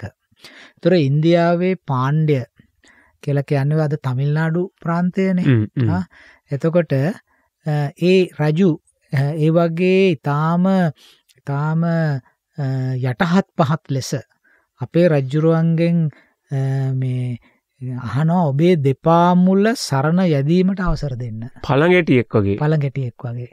එතකොට ඇත්තෙම්ම ඉතිහාසය අපට අවශ්‍ය වෙන්නේ මෙන මේ වගේ දේවල් වෙත්ත ඉතා සියුම් අවධානයක් යොමු කිරීම අවශ්‍යවන නිසා.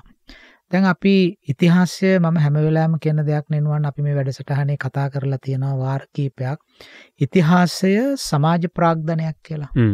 ඉතිහාසේ සමාජ ප්‍රාග්ධනයක්. ප්‍රාග්ධනය ගැන ආයෝජනය කරන්න පුළුවන් එකක්නේ එතකොට සමාජ ප්‍රාග්ධනයක් වෙන හැටි අපට මේ වගේ දේවල්වලින් ආශ්‍රෙන් ඉදිරිපත් කරන්න පුළුවන්. දැන් අද බැලුවොත් එහෙම අපේ සමස්ත සමාජය මානසික වශයෙන් හරිම පොදු සමාජ මානසිකත්වය විශාල අවපාතයකට ගිහිල්ලන ඉන්නේ. අපට වඩා ඉතා දුරුවල තැන්වල හිටපු බංගලාදේශය වගේ රටවල් ඒවගේම අපි දකුණු ඉන්දියාව කියලා කිව්හම අපි නිකන් අහන ඉන්දියාවට යනකම දකුණු ඉන්දියාවට දෙයන්න කියලාන්නේ අපි වෙනගත්තිය විස්සර අපේ ඔය වගේ ගෙවල් එක පෙලියට තියෙන තැන්වලට කොරියාව කියලා කිව කොරියාව කියලා කිවේ හරි. ඉති මම දන්නවා මම මීට අවුරුදු පහලෝකට විතරෝඩි ඉන්දියාවට ගිය වෙලාවේ එයාපොට් එකෙන් ගුවන්තොට පලින් බැස්සහම ඉන්නේ ලංකාවේ සබන් සහ පොල්තෙල් ඉල්ලන්න කට්ටිය. සබං එල්ලනවා පොල්තෙල් ඉල්ලනවා. අද ඒ අරංගියනම් මේ යාටිකටේ ගානුහාගන්න පුළන් කියලා අප අදහසත් තිබ ඉස්සර. සත් තිබ්බා.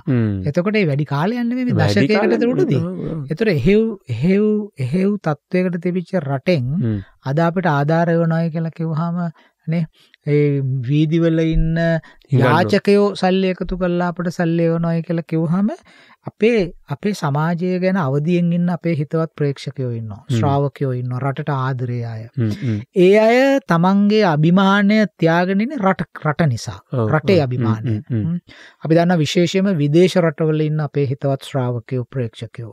ඒ රටවල්වල අපි කවයි කොයි රට ගත් අපි දෙවැනි පුරවැසියෙක්නේ හරි. ඒ දෙවැනි පුරවැසි භාවය නිසා ඇතිවන කාන්සාව අපට තුරං කරගණ්ඩ පුළුවන් වෙන්නේ අපේ රටේ අභිමානය ගැන කල්පනා කරලනේ. අපි දන්නවන රටවල්වල සිංහල සංවිධාන පිහිටවාගෙන ශ්‍රී ලාංකික සංවිධාන පිහිටවාගෙන ඒ විවිධ නංවලින් එහෙම ඉන්න මොකද රටේ අභිමානය ගැන ඔවුන්ගේ හිතේ තියෙන නිසා. හ්ම්. එගොල්ලු හරි මහන්සි වෙන ලංකාවෙත් එහෙමයි. ලංකාවෙත්තේ වගේ හුඟක් අය නවා තමන්ගේ රටට සමාජයට ආදරය කරන අය ඉති ඒ අය හරි කනස්සල් එන්න මේ වෙලා ඉන්නේ. හ්ම්. රටට මොනවුනත් කමක් නෑ කියලා අර අද මේ ගුව නාලිකාවේ මේ අහන්ඩ හම්බු නර කුඩා දරුගේ අතට කැත්තකින් කොටලා රුපියල් සියක් උදුරගත්ත කතාව නේ? ගියසිකුරට පත්තරල තිබුණ. එතකොට මේ වගේ එයත් ඒ ඇත් ඉන්නවා සමාජයේ. හරිද? එතකොට ඊට අමතරව මේ රට ගැන කල්පනා කරන රට ගැන උනන්දුවෙන් හිතන වෑවෙන පිරිසක් ලෝකෙ ඉන්නවානේ අපේ අපේ මව්බිමේ දරුවෝ. එතකොට ඒ අයට මේ මේ දැන් ඇතිවෙල තියෙන සමාජ කාංසාව සමාජමය ආතතිය. අනේ අපට මොකද වනේ කියන එක නැතිකරගෙන නැවතත් දහිරය උත්පාදනය කරගන්න පුළුවන් වෙන්න මේ වගේ කාරණා ඉතිහාසයෙන් අපි හොයාගත්තට පස්සේ. නේ? ඒ අපට දැන් යාචකයෝ ආධාරය වන රට අපේ රජවරුගේ ආක්‍රමණය කලා විතරක් නෙමයි ඒ රජවරු ඒ රට හිටපු අය අපේ රජ රජවරුන්ගේ දෙපාමුලට ඇවිල්ලා අනේ අපිෝ බේරගණ්ඩ කියලා කිව අනේ අපිව බේරගන්න. අනේ අපිෝ බේරගණ්ඩ අයෝ කියලකිව ඒගොල්ල තමයි. මට හිතෙන්නේ ඒ ඒ දැන් මේ මේ මේ කියපු කාලෙ මීට අවුරුදු නමසීයකට විතර උඩදී පාණ්ඩ්‍ය දේශයෙන් කිව්ව අනේ අපිව බේරගණ්ඩ කියලා. මට හිතනවා ඒ සද්ද දෝංකාර වෙලද දැන් යන්න කියලා. දැන් අපේ පැත්තෙන් යනවා අනේ අපිව බේරගණ්ඩ කියලා. ඒ ඒ සද්දෙද මේ දෝංකාර දෙන්න කියලා. ඉතින් කොහොම හරි වේවා මෙන ඉතිහාස- මුකුත් ඔවුන් නෑස මේ මාලදිවහිනේ ඔව්. මේ මාලදවිනේ මිත්‍රෙක් මට කාල ඇත්තිස කියක හිටිය ලංකාවේට ඔහුන්ගේ ළමයි දෙන්න මේ උගන්නන්න එන්ඩ මේ මට දැම් මේ ඊය පෙරද කතා කල දං කිය නෑ ඔන්නෑ මේ අ, මොකද මේ පුළුවන්න අපේ ළමයි වවන්ඩකිව මාලදිවේ. දැන් අපිට අපි දන්න කාලේ මාලදිවයිනේ මුදල ලංකාවේ මුදලට වැඩිය පල්ල හැන් තිබ්බේ. අද මාලදිවීනේ මුදලට අපි රුපියල් විසි දෙකක් කර විසිතුනක් කර කියවන ඔව් ඒක තමයි. මාලදිවහිනේ මාලදිවයිනට. මාලදිවෙනක අපට ඉස්සර මතක්ුණේ උම්බලකට විතරන. උම්බලකට විතරනේ? ඉති ඒක තමයි ඒකත් පරිනාමය එකත් සමාජ මොනවා තියෙන රටක්ද? නෑ අපිනිකන් සෑල්ලුට කෙනට මේ අර ස්තුනක්නේ කොල්ලු විකුණන්නේ. සෑන් සන්නැන් සී තනිකර පොල් ගසුයි වැලී තියෙන දූපත් සමූහයක්නේ. හැබ ඒමිනිස්සේ රට ගොඩ දාපු විදිිය. ඒක තමයි. ඉති අපිට දැන් මේ නැතිවෙච්ච සමාජ මොකක් දාඩම්බරේ සමාජ ආඩම්බරේ අපිට නැවතත් ඇති කරගෙන මේ රට ගොඩගණ්ඩ ෝමනා කරන දහිරය ඇති කරගන්න පුළුවන් මේ වගේ දේවල් වලින්. ති අපේ රජ්ජුරුත් අර කන්නලව් ඇහුවම කියපුදේ අපි මගේ සතිය කිව්වනේ. මාගේ ආරක්ෂාව පතන ඔහුගේ දුකට පිහිට නොවහොත් පරාක්‍රම බාහු යන නව මට කෙසේ නම් ගැලපේද ලංකාපුර සේනාපතිය කුලසේකර මරණු පඩිරජ සිය රටෙහි පිහිටවාය වුණු මොන තරම් අධිකාරී බලයක් තියෙන ප්‍රකාශයක්ද? කියලා අරය වයින් කල්ල මෙයාව පත් කරන්න. කියලා කියන්න තරම්. මේකින් අපට පේන්නේ මොකද? අපි ආසියානු බලවතෙක් කළ හිටිය පරාක්‍රම බහුරජ්ජුරන්ගේ කාලේ. ආසියාවේ ප්‍රබල රාජ්‍යයක් වුණා.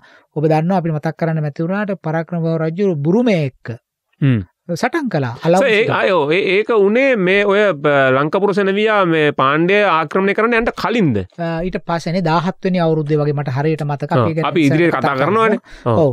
එතකොට එතකොට පේගු නගරය බුරුමය කියලා සමස්ථාචයකවට අලවුන් සේතු රජ්ජුරුත් එක්ක යුද්ධයකට ගියා.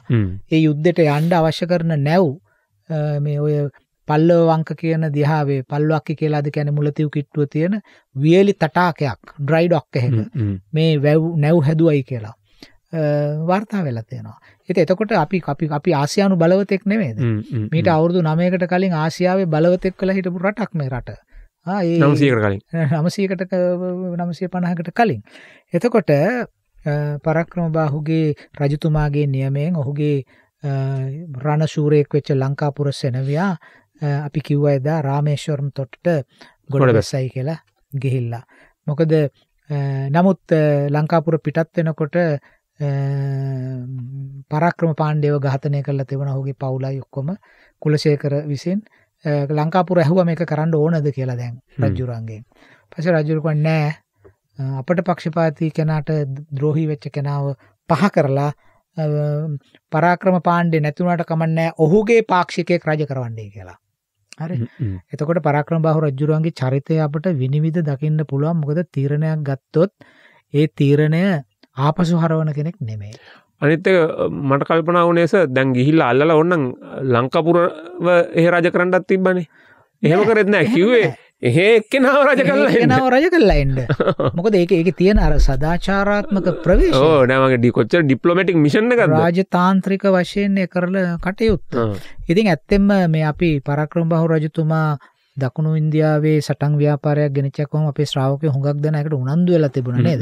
මේ අපේ අජිජයසයකර මහත්මයා ඔස්ට්‍රේලයා විඳල ලියලවල තිබ ඔව්.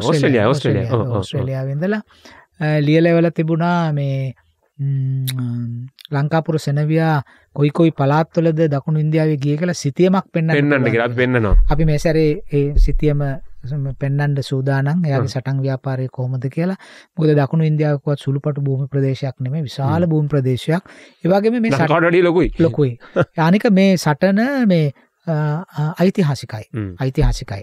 දැන් ලංකාපුර මේ රාමේශ්වරමට ගොඩ බැහැලා මේ පරාජය කරපු ද දකුණු ඉන්දීය කැන කුලසේකර රජුට පක්ෂපාති අයගේ නංගං පවා සඳහන්වලත් තිය නොල්ලේකනවල හ්ම්. දැ විශේෂයෙන් කියනව නං වඩවලත්ති තිරුක්ක නාඩාල් කියන සෙනවයා. කුන්දය මුත්තු රායර් කියන සෙනවයා ඒවාගේම විල්ලවරායර් කැන් මේකුළු මංහිතන්නේ නිකම් බ්‍රිගේඩිය මට්ට මේ හිටපු. ලොකු සේ හැම සේනාක කරටම රාය රාය කියල ඉවරණ රායර් කත් කියලා ඉවර වෙනවානේ එතර අච්චු කොට්ටු නාඩාල් වාරන් කියලා එක් ඉති මේ අය ගැන නරසිංහ දේව එතන මේගොල්ලන්ගේ විවිධ සංර කැන විවිධාකාර සංරචනයක් තිබිච්ච හමුදාවක් තිබිච්ච බවත් අපට පේනවා. එතොර මේ අය මේ කි නං කියපු අය ප්‍රධාන සේනාක අධිපතිවරු හැටියට ඉන්ඩ ඇති ඒක යවුන්ගේ නං එවිදිර විශේෂ වශයෙන් සඳහන් කරලා තියෙන. කෝමාරි නොවන් මේ මේ දකුණු ඉන්දයානු ව්‍යා මේ සටන් ව්‍යාපාරයේදී ලංකාපුරට සිද්ධ වනා සටන් නමයකට සහභාගි වෙන්ඩ. ඔහු සටන් නමයක් කර යුද්ධ නමයක්. හරි ඉතින් එ, පේනවානේ මේ මේ මේ මේ සංග්‍රාමික ව්‍යාපාරය කොයිතරං අ, මේ පෘතුූල දෙයක්ද කියන එක එක ලේසි පසු දැන මොකද පිටරටකට ගිහිල්ලා සටන් නමයක් කරන්ඩ අපට පක්ෂ හමුදාව ස්ථාවරවතියාගෙන හමුදා බලය පිරහෙන්ඩ නොදීතියාගෙන ඒ නොපුරුදු භූමියක සෙබලුන්ගේ මානසික භාවය මානසික ඒකාග්‍රතාව ආරක්ෂා කරගෙන එතර සම්පත් මේවට ඕන කරන අවියායුද කෑමබීම හරි මේවත් කළමනා කරණය කරගෙන පිටරටක යුද්ධයක් කරන්න නං ලංකාපුර කොයි වගේ කෙනෙක් වෙන්ඩ ඕනද කියන එක අපට තේරුම් ගඩ තියෙනවා. හිතාගන්න පුළන්නේ හිතාගණඩ පුළුවන්නේ අපි දන්න පහුගේ කාලෙක අපේ ජීවිත කාලෙත් තුළ අපි යුද්ධය කිසිවිටකත් අනුමත කරන්නේ නෑ. ගැටුම් අනුමත කරනය නෙමෙයි. නමුත් අපිට ජීවමාන කාලය තුළ අපට යුද්ධයක් වෙන්න කොහොමද? ගැටුමක් වෙන්න කොහොමද කියන අපේ ජීවිතය අධ්‍යැකීමක් හැට කරගන්න පුළන් වුණා නේද?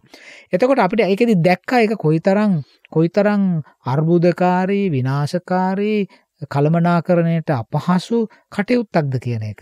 නමුත් ලං ඒ මේ- මේ රට ඇතුළේ අපි දන්න භූමියේ නොදන්න භූමියකට ගිල්ල එක කරගෙන යනය කියන්නේ එක විශාල මෙහෙයුමක් වෙන්ඩ ඕන පරක්‍රම බහ රජතුමාටත් එයා අන දෙන නිලධාරයන්නේ ඔහුටත් කොයි තරම් ඒකාග්‍රතාවක් තියෙන් ඕනද මේක කරන්න? මෙව ගැන්න අපි කල්පනා කරන්න ඕන. මති අපිට පේන්නේ නෑ ඉතිහාසය උගන්නන කොටවත් කොහෙදිවත් මේ වගේ සාකච්ඡා තියෙනවායි කියලා. අපි කවදාකත් සාකච්ඡාවට අරංතියනවාද මේ පරක්‍රම බාහුගේ සංග්‍රාමික ව්‍යාපාරය අපි උගන්නනවාද විස්තරාත්මකෝ ආරක්ෂක විද්‍යාලවලවත් උගන්නනෝද සමහර විට උගන්න උගන්වනවා ඇති. දන්නේ නැහැ. එහෙම ඉගෙනගන්න කැමති නම් මංහිතන්න ඔබතුමා කැමති එකට අනි කර- ඒක ඒක විෂයක් හැටියට හඳුන්වා දෙන්න ඕන. අපේ. ලංකාවේ තියෙන සංග්‍රාම සංග්‍රාම කියල ගැන යුද්ධ කරපිවා විතරක්නම යුද්ධවලට හේතු. ස්ටටජීස් කියලා තියෙන නේද? උපාය මාර්ග කියලා හ්ම්. ජාතියක් තියෙනනේ උපාය මාර්ග. තර යුද්ධවලට පෙළබෙන්ඩ සමාජයක් සූදානන් වෙන ආකාරය යුද්ධයෙන් පසු ඇති වෙන සමාජ තත්ත්ව ඒව කළමනාකරණය කිරීම ආදී නොයකුත් දැනුම් සම්භාරයක් ඉතිහාසය තුළ නිමග්න වෙලත් තියෙනවා. හ්ම්, හ්ම්. ඉති ඒක අපි ප්‍රයෝජන්ට ගණ්ඩ පැයි ඒක අපේ අප අපට හමුදාවක් ඉන්නවා අපට. ආරක්ෂක සේනා ඉන්නවා බුද්ධිමත් නිලධාරයෙන් ඉන්නවා කාර්යක්ෂම නිලධාරයෙන් හ්ම්. ඉන්නවා. ඉති ඒගොල්ලන්ගේ ඒ අයිති අනිත්තක අපේ ශ්‍රම හමුදාව විශාල කොටසක් යුද හමුදාවන්න නනේ හමුදාව ඉන්නවා නේ ඇති එහෙම රටවල් ලෝකටික අඩු අඩුයි. මේකැන් ප්‍රතිශතාත්මක අනිත රටවල්ලක් ගත්තම අපිට ලොකු හමුදාවක් ඉන්න ඔව්. ඉතින් ඒගොල්ලන්ව දැනුමෙන් සන්නද්ධ කරන එක අපේ ජාතික වගකීමක් නිස නේද? ඔව් ඔව් ඉති ගැන සන්නහ සන්නද්ධ සන්න- ගෙන විතරක් නෙමේ එමයි මානසිකව ආ, ආකල්පමය ආ, වශයෙන්. සන්නද්ධ කිරීම. ඉති ඒක කළ යුතුව තිබෙනවා. ඉතින් මේවා සමහර දේවල් අපි කියනට සමහරට ඇහෙන්න සමහට ඇහෙනවා. ඉති ඇහෙන අය මේක තේරුම් අරගෙන ඒකට සුදුසු පියවරක් යොදයි කරයි කියලා ඇතර මේ අවස්ථය මතක් කරන්න ඕනේ මේ දැන් ඉන්න මාණ්ඩලික ප්‍රධානී ශවන්ද්‍ර සිල්ල මහත්මයාට ලොකු උමනාවක් තිබ අපේ මේ අල්ලිමිට ඩිස්ශ්‍රී වැඩසටහන් කීපයක් හමුදා කඳුරු ආශ්‍රිතව කරන්න. හැබැයි ඒකට ඇත්තටම හරස්සුනේස මේ කොරෝන වසංගතය. නැත්තන් අපි ඒක සූදානන් කළ තිබුණ. දැන් අපි ආයත් සූදානම්. ඒම දෙයක් ලෑස්ති වුණොත් එන්න ඔව්. ඊළඟට දැන් මේ විදිහට ලංකාපුර සටන් නමයක් කලා කරලා ඔය සටන් නමයක් කනු නිකන්නේ මිසු මැරෙන්ඩ ඇති. එතකොට ඒවගේම ලංකාපුර මිනිස්සු ම- යටත් වෙච්ච සෙබලු ඔවුන් අල්ලගත්තා.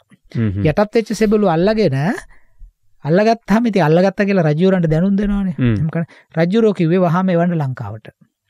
ලංකාවට එවන්ඩ කියලා දකුණු ඉන්දයානු ජාතිකයන් විසින් මේරට ඇල්ල විනාසකර ඔක්කොම ගොඩ නැගලිට ගොලන්ට කියලා හදාගත්තා ඒ මහිත මේ මේ මේවා මේවා හරි හොඳ හොඳ පාඩක් නේද? මේ අල්ලගත ටික මෙහට එවන්ඩ කියලා කිව්වා. ඊට පස්සේ ඔවුන් විසින් කඩා බිඳ දැපු ගොඩ නැගිලි අපේ රටේ. ඒගොලන්ට කියලා හැදෙව්වා. හරි. පරක්‍රම් බහ රජුවෙන් ඉස්සල්ල පොළොන්නරුවත් එහෙම ඒගොල කර විනාස තිබුණ විනාශයන් තිබුණානේ. අපි කිවන අප මීට වැටසන දායකටතර කලින් හවන දනගන්න පුළුව ඔව්. ඉතිං දැ මේවයෙන් අපට යම් කිසි විදිහ මේවා හොඳයි කියලා අනුමත කරන්න අපි. ම්, ම්, ඒවා හොඳයි නෙමෙයි. හොඳ නරක නෙමේ මෙතන තියෙන්නේ.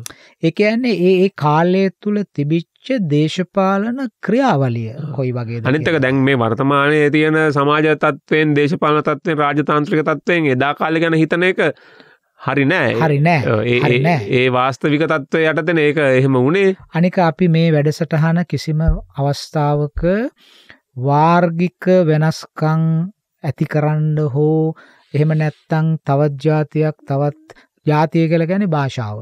භාෂාවන අනන්‍යතාව එක් භාෂාවක් කතා කරන සංස්කෘතික කණ්ඩායමක් තවත් භාෂාවක් කතා කරන සංස්කෘතික කණ්ඩායමක් අතර සංසන්ධනයක් කරන්න එහෙම කිසි සේත්ම අපේ මේ වැඩසටහන තුළ ඉඩක් ඇත්තේ නෑ. මොකද භාෂාව කියන එක සංස්කෘතිය කියන එක හරිම ස්වභාවික ඒක හැම කෙනෙකුටම අයිතියක් තියෙන. බුක්ති විඳින්ඩ එක හෙම දෙයක්. එනිසා කිසිම කෙනෙකුට අයිතියක් නෑ.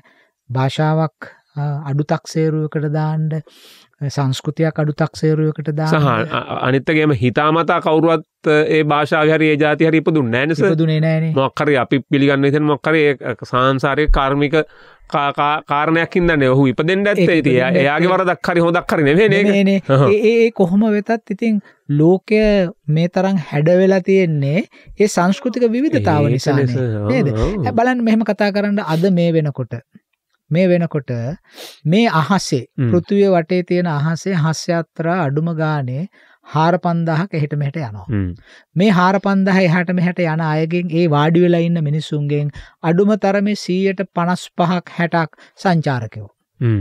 ඇයි සංචාරය කරන්නේ විවිධ සංස්කෘතින් බුක්ති විදින්ට. ඔවුනේ මේ ලෝකෙ පුරා මිනිස්සු ඇවිදින්නේ. මේ එකෙන් තමාට වඩා වෙනස් සංස්කෘතියක් දැක ගැනීම ඒවයි තියෙන වත්සිරිත් යාතු කරම කෑම බීම, විනෝදාස්වාදය අද ලෝකේ සංචාරක ව්‍යාපාරය කියලා කියන්නේ ඒ රටවල් වල විශාල ආදායමක් ජනනය කරන දෙයක් නේ දැන් අපිත් මේ අනේ මේ සංචාරක ව්‍යාපාරය නැගී සිටින අපේ මේ ප්‍රශ්න ගොඩක් ඉවරයි කියලා අපිත් හිත හිත ඉන්නවනේ හිත හිත ඉන්නවානේ. හැබැයි දැන් මීට පරාක්‍රම යුගය භාව යුගයේදී අපි එහෙම නෙමෙයි හිතුවේ කෘෂිකර්මය දියුණු කළා එහෙම කරලා ඒව මත රට- මත ගොඩනගන්න දැන්. යථාර්ථයක නෙමෙයි දැන් යථාර්ථයක දැන් මේ නෙමෙයි. ගොවිතැන් කළා අපේ රට ගොඩ දාන්න බෑ කියලා හොඳටම තේරලා නේද තියෙන්නේ? තේරෙලානේ. අනික ඉතින් අපි සංචාරක ව්‍යාපාරය කිව්වත් නුවන් එන සංචාරකයෝ කැමති කතා අහන්න ස්ටෝරි ටෙලිං අනිවාර්යෙන්. නේ? අපි ගිහලා මේ රටේ කතාව අහන්න කැමති මේරට කතාවට දැන් අපි පරාක්‍රම සමුද්‍රය පෙන්වුවහම හ්ම්. ඒ බලන කෙනාට මේක තවත් ජලාශයක්. නමුත් එයාට ඒක සංස්කෘතියකට ඇතුළත් වෙන්නේ ඒ පිළිබඳ කතාව කිව ඒ. නිර්මාණයේ? යට ගියාව කිව්වම නිසා ඒක ඒක ඇත්තටම පරාක්‍රම සමුද්‍රයෙන් පරාක්‍රම සමුද්‍රයක් බවට ඔව්. පත්වෙන ඉති ඒ නිසා සංචාරක ව්‍යාපාරය ඇතුළත මම නංම පෞද්ගලිකව වගකීමෙන් කියන්නේ. අපට අපේ සංස්කෘතිය පිළිබඳ කතා කීමේ පුරුද්දක් නෑ හ්ම්. සංචාරකින්ට හ්ම්. අප ස්ටෝරි ටෙලින් කියන එක අපි කරන්න. කතා හදලනම් කියනවා කතා හදන්න දන්නවා නේ එතකොට සීගිරියට ගිහිල්ලා මහානාම හාමුදුරුව කියපු කතාව කියලා හරියන්න නෑනේ මහාවන්සලියපු ආ. ඒකට අපි කතාවක් හදන්න ඕනේ. කතා හදන ගැන බොරු නෙමේ බොරු නෙමේ ඇත්ත. දැන් මේ විද්‍යාත්මකව විද්‍යාත්මක පැහැදිලි කරලා ඒකට බොරු කියන්න බෑ. ඒ ඔක්කොම තොරතුරු තියෙනවා අන්තර්ජාලය ඒකට හොයාගන්න. අනික දැන් වතුර මල ගාවට අරන් ගිහිල්ලා. දැන් වතුර මල ගැන මහානා මහමුදුරු කියලා නෑනේ මහාවංශේ. නේද? ඒතර වතුර මල ගැන අපි කතාව කියන්න එපා. මේක කොහොමද පීඩනය උත්පාදනය. වෙන්නේ? වතුර එන්නේ. අර අර බාතුර උඩිදන් ගලාගෙන එන අර ඒ ඒ ඒ ආනතිය තියෙන විද්‍යාත්මක භාවය. අන්න. ඒකන කතාව. කතාව. ඉතින් යථාර්ථවාදිකව විද්‍යාත්මකව ස්ටෝරි ටෙලිං කියන එක කතාව කීම. අවශ්‍යයි නේ දැන් අපි අපි එංගලන්තෙට ගිහාම එංගලන්තේ භූමි දර්ශනය පෙන්නලා ඒගොල්ලෝ අර ප්‍රාග් කේම්බ්‍රියානු යුගයේ ඉඳලා ඒ භූමි දර්ශනය පරිණාමය වෙච්ච හැටි ගැන කියලා දෙනවා හ්ම්. අද අපි හෝටන් තැන්නට ගිහිල්ලා ඔක කරන්නේ නැහැනේ කවුරුවක්වත් අපි. ගෝනෙක් පෙන්නයි. ආ එහෙම නැත්නම් මොකක් හරි තව සතෙක් පෙන්නයි හෝටන් තැන්නේ නරකම දේනෙස අර අතනින් පල්හැ බලන්ට යන එක ඔව්. අර ව- මොකද්ද? ලෝකාන්තය කියලා? දැන් ඕක හෙටනිත නෙළුම් කුල්ලට කිලත් ඕකම කරන්න පුළුවන්නේ. ඔව්, පල්ලෙහා පල්ලා බලන්න. ඔව්. අපි මේ පල්ලහ බලන්න ඕන ජාතියත් මේ ගලක් උඩට ගිහිල්ලා.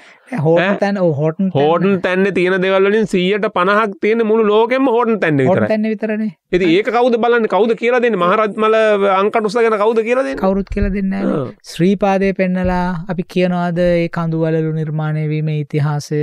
අපේ තියෙන භූවිද්‍යාත්මක ඉතිහාසය? ඒවා අපි සංචාරයෙන් ද රූපහ තියෙන අර ලස්සන කොළපාට ගලක්. තියෙන ඒවයි ගිහිල්ලා ඒ භූවිද්‍යා ඒවා නත හරියට කියලා දෙන්නට නෑ දැම අපි මේ මතු වෙච්චල හොටන් තැන්නට ගේටුවෙන් ඇතුල්ලෙන් ඉස්සල්ලා තාමත් විශිෂ්ට තොරතුරු මධ්‍යස්ථානයක් තියෙනවා. ඉතාමත් හොඳ තොරතුරු තින පොඩ්ඩක් මේ හොන්තනට ටිකට කර ඇතුල් ිසලා තොරතුරු මධ්‍යස්ථාන විනාඩි දහක්කර ගත කරන ගොඩත් තොරතුරු හොයාගන්න පුළුව. නිකාන් අර කියලා ලෝකාන්තයෙන් පල්ලහ බල්ලයින එක තේරුමක් නෑ තේරුමක් නෑ. ඉතින් කොහමහරි පරක්‍රම් බහු රජ්ජුරුවර අල්ලගත් ඔක්කොම මිනිස්සු ටික ගෙන්නල මෙහාට. ඒගොල්ල විසින් ඒගොල්ල ගැන ඒ මිනිස්සුනේ ඒගොල්ලන්ගේ රටවල්ල හිටපු ඒගොල්ලන්ගේ අනිත් අය ඥාතීන් කඩල බිඳපු අපේ රටේ තිවිච ගොඩනැගිලිටික ප්‍රතිසංස්කරණය කරවාගන්න ඒ ශ්‍රමය යෙදවා. සමහරට ඒක කළමනා කරන ප්‍රතිපත්තියක් හැටිට අනුගමනය කරවෙන්නත් පුළුව දැයගොල අල්ලගත්තොත් අපි කණ්ඩබොඩ දෙන්න. හිරගෙවල් නටත්තු කරන්න ඊට වඩා අර එලිමහන් හිරකඳ උරුවගේ මේ ගෙනල්ල මේ වැඩ කරන්න කියලා එගොලන්ට කියන්න ඇති. කොහම හරි මේ රජ්ජුරුවෝ බොහොම කල්පනාකාරීව බුද්ධිමත්ව මේ සටන අරගෙන ගියා. කොච්චර හරි කියන ලංකාපුර ගිහිල්ලා ඔය පාණ්ඩෙ රටේ කුණ්ඩුතලා කියල ස්ථානයේ බලකොටුවක් ඉදි කරා. කල්ල දැම පරාක්‍රම පුර කියලා. එකට නමක්. එතකොට අපි ඔය යුද්ධ කාල දෙක්කන එක පුරුවල් ඇති කරනවා. පුරවල් සැනපතියන්ගේ නංවලින් පති නංවලින් ඉති ඒන අපේ රටේම නැති කර ඇති කරගත්ත හෝ. තේසයික ආ. මහලොකු දෙයන්නෙවෙයි නමුත් මේ ලංකාපුර සැනවයා ඔය ගිහිල්ලා කුණ්ඩු තලාවල බලකොටුවක් හදලා මේ ඒකට පරාක්‍රමපුර කියලා නමකුත් දාලා මේ යුද ප්‍රමාණ මේ යුද ව්‍යාපාරය හොඳට මේ අරගෙන ගියා. තම තියෙනවත් දන්න ඇස පරාක්‍රමපුර ඉන්දියාව නේද? මංහිතන නං වෙනස් වෙලා ඇති නේද? සෙල තියෙනවානේ ඊට පස්සේ දැම යුද්ධ ව්‍යාපාරය අරන් ගිහිල්ලා අර මියගිය පරාක්‍රම පාණ්ඩිය ඉන්නවානේ. ය මිය ගයානේ. ඉති මේකයට පස්සේ ප- ලංකාපුර මොකද කරේ එයාගේ බාලපුත්‍රය තමයි වීර පණ්ඩු කියන්නේ මැරිච්ච කුලසේකර ඝාතනය ඝාතනය. කරපු. එතකොට ඒ පරාක්‍රම පණ්ඩුගේ බාලපුතා හ්ම්. වීර පණ්ඩු මේ වීර පණ්ඩුව මේ එයා හැංගිලා හිටියේ. එය හැංගිලා හින්න වෙලාවේ මේ ලංකාපුරයාව හොයාගෙන. රාජ්‍ය පවරන්න කටයුතු කළා. හරි. ඇයි පරක්‍රම පරජුරු දීපු නියමේනේ හරි එයා ඝාතනය කරනම් එයාගේ කවුරු හරි උරුමේ තියෙන කෙනෙක් රජ කරන්න කියලා නේද? රජ කරවන්ඩේ කියලා. නුවන් දන්නවාද? වීරපණ්ඩුව ගෙන්නවලා. මේ ලංකාපුර රාජ්‍ය පැවරුවා පාණ්ඩේ රාජ්‍ය පැවරුවා වීරපණ්ඩුට. රාජ්‍ය භාරගණ්ඩ කලින් වීරපණ්ඩු කළේ ලංකාව දිහාවට හැරිලා. නමස්කාර කළා නමස්කාර කල්ලා තමයි රාජ්‍ය භාරගත්තේ එක යන්නේ මේකෙන් අපට මේ- සවන් දෙන අපේ අපේ ශ්‍රාවක සමහර අය ඉන්දියාව පැත්තට හැරලා දිවුරුන් දෙනවා දෙවරුන් දෙනවා නේ? එක තමයි ඒ කියන්නේ ඉතිහාසය හරිම දයලෙක්තිකයි හ්ම්. ඉතිහාසය හරිම දයලෙක්තිකයි ඉතිහාසය හරිම මොකක්ද වෘතාකාරව සයිකලික් දේවල් තියෙනවා ඉතිහාසේ ඉතිහාසේ වෙච්ච දේවල් නැවත වෙන්න පුළුවන් එක විරුද්ධ දේ වෙන්න පුළුවන්. හරි? එතුර අපට පේනවා වීර පණ්ඩු ලංකාව දෙසට හැරිලා ලංකාවට නමස්කාර කල්ලා තමාගේ සිරස නමල නමස්කාර කල්ලා තමයි පාණ්ඩි රාජ්‍ය භාරගත්තේ. එතුර අපිට පේනවා අපේ මේකෙදි වැදගත් වෙන්නේ අපි පරක්‍රම බහුත් රජුගේ චරිතය ඉස්මතු කිරීමවත් අපි මේ අපේ අසල්වාසී ඥාති මිත්‍රත්වයක් තින රටක් එහෙම යටත් කරා එහෙම කියලා වීජිගීෂාවෙන් කතා කිරීම නෙමෙයි. අපි පෙන්නන්න ඕන මේ තියෙන දේශපාලන සංස්කෘතියේ පරිණාමය. කියන දේශපාලන ව්‍යාකරණය. කොයි විදිහටද ඇති වුණේ පරාක්‍රම බහු රජුට එවැනි හපංකමක් කරන්න පුළුවන් උනේ කුමන හයියක් නිසාද කියන එක. පරාක්‍රම බහු රජුරෝ කිසිම රටකින් ආධාර අරගෙන ලොක්ෙක් වෙච්ච කෙනෙක් නෙමෙයි. අපිට පේන දේ තමයි අපි දැන් අර පහුගිය වැඩසටහනක ඔහු විසින් කරපු වැව් ප්‍රමාණය. ඇලමාර්ග ප්‍රමාණය. ඔහු කොයි තරම් දුරට රටේ කෘෂිකර්මාන්තය දියුණු කරන්න මහන්සි ගත්තා. මහවැව් 163ක්. 63ක් කළා. ඒ වගේම ඔහු බුරුමේ අලවුන් සීතු රජුරෝ සමග යුද්ධයකට පැටළුනේ මේ ඇත්තු වෙළඳාම පිළිබඳ ප්‍රශ්නයකට. එතකොට අපේ සාගර වෙළඳාමත් ඉතා හොඳින් තිබුණා. හරි. එතකොට අපි ජාත්‍යන්තර වෙළඳාම කියන්නේ අපනායන වෙළඳාම. අපනායන වෙළඳාම හා රටේ අභ්‍යන්තර නිෂ්පාදනය. මේ දෙක සමතුලිත කර ගැනීම අපට වාසි වෙන අන්දමට. ඒකන අපි පාලකයෝ කරලා තියෙන ඉතිහාසය පුරාම පුංචි පැහැදිලි කරගැනීමක් නෑර අපි ගියවර ස කිව්වන මේ මේ අර ප්‍රති අපනායනය අපි කවදාවත් කරේ නෑ කියලා. කෙනෙක් කහලා තිබෙන අර මන්නාර මේ අර ගොඩ බෑ ගොඩ බාල අනිත් පැත්තට අය පටෝලා යව්වන්නේ ඒක ප්‍රතිපනයන ලෙසලකන්න බැන ඒක ප්‍රතිපනයනයක් නෙමේ ප්‍රති බාපු යම එතනින් අර වැලි පරහින්ද යන්න බෑ. ට්‍රන්සිට් කලා සිට් එකක් ට්‍රන්සිට් කැනර වැලිපරය නිසා ඒවා බාලා එහා පැත්තෙන් ආපු බෝට්ටුවලට පටවම විතරයි. පටවල නැව්වලට පටවල එක අරංගේකනේ. තර ඒක ප්‍රතිපනයනය කිරීමක් නෙම ඒ ගෙනාපු අයම ඒගොල්ලන්ගේ වෙළඳ සම්බන්ධ වෙළඳ සමාගං ඒ කාලෙත් තිබුණා. ඒ වෙළඳ සමාගං සන්නිවේදනය කරලා මේ ඒවා කරපු දේවල්.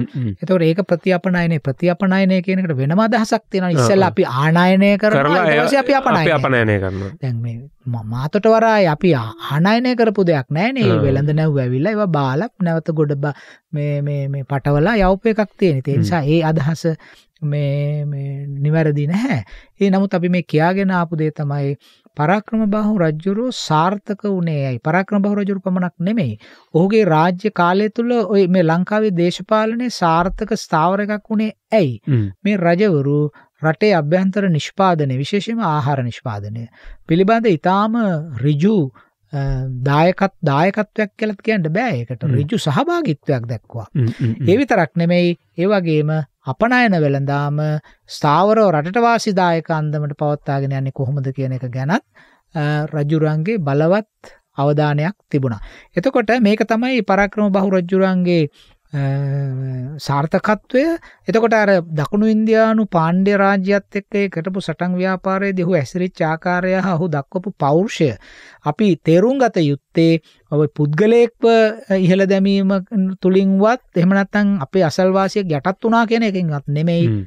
අපි තේරුම් ගන්නවන අපි කොයි තරං ස්ථාවර හිටියද කියන කාරණය. හරි. අපි විරාමෙන් පස්සේ නැවතත් මේ අපේ ශ්‍රේෂ්ඨ ඉතිහාසය පිළිබඳව යළිත් කතා බහ ආරම්භ කරන්න සූදානම් අපිෝ බලනවානං ඔබට පුළුවන් කමෙන්ට් එකක් විදිහට වනත් අපිට මේ YouTube නාලිකාවේ කමෙන්ට් විදිහට ඉදිරිපත් කර නැත්තං ලියනවනන් තැපල් පෙටි විසය හදලිස් පහක් කොළඹ කියන ලිපිනයට ලියන්න.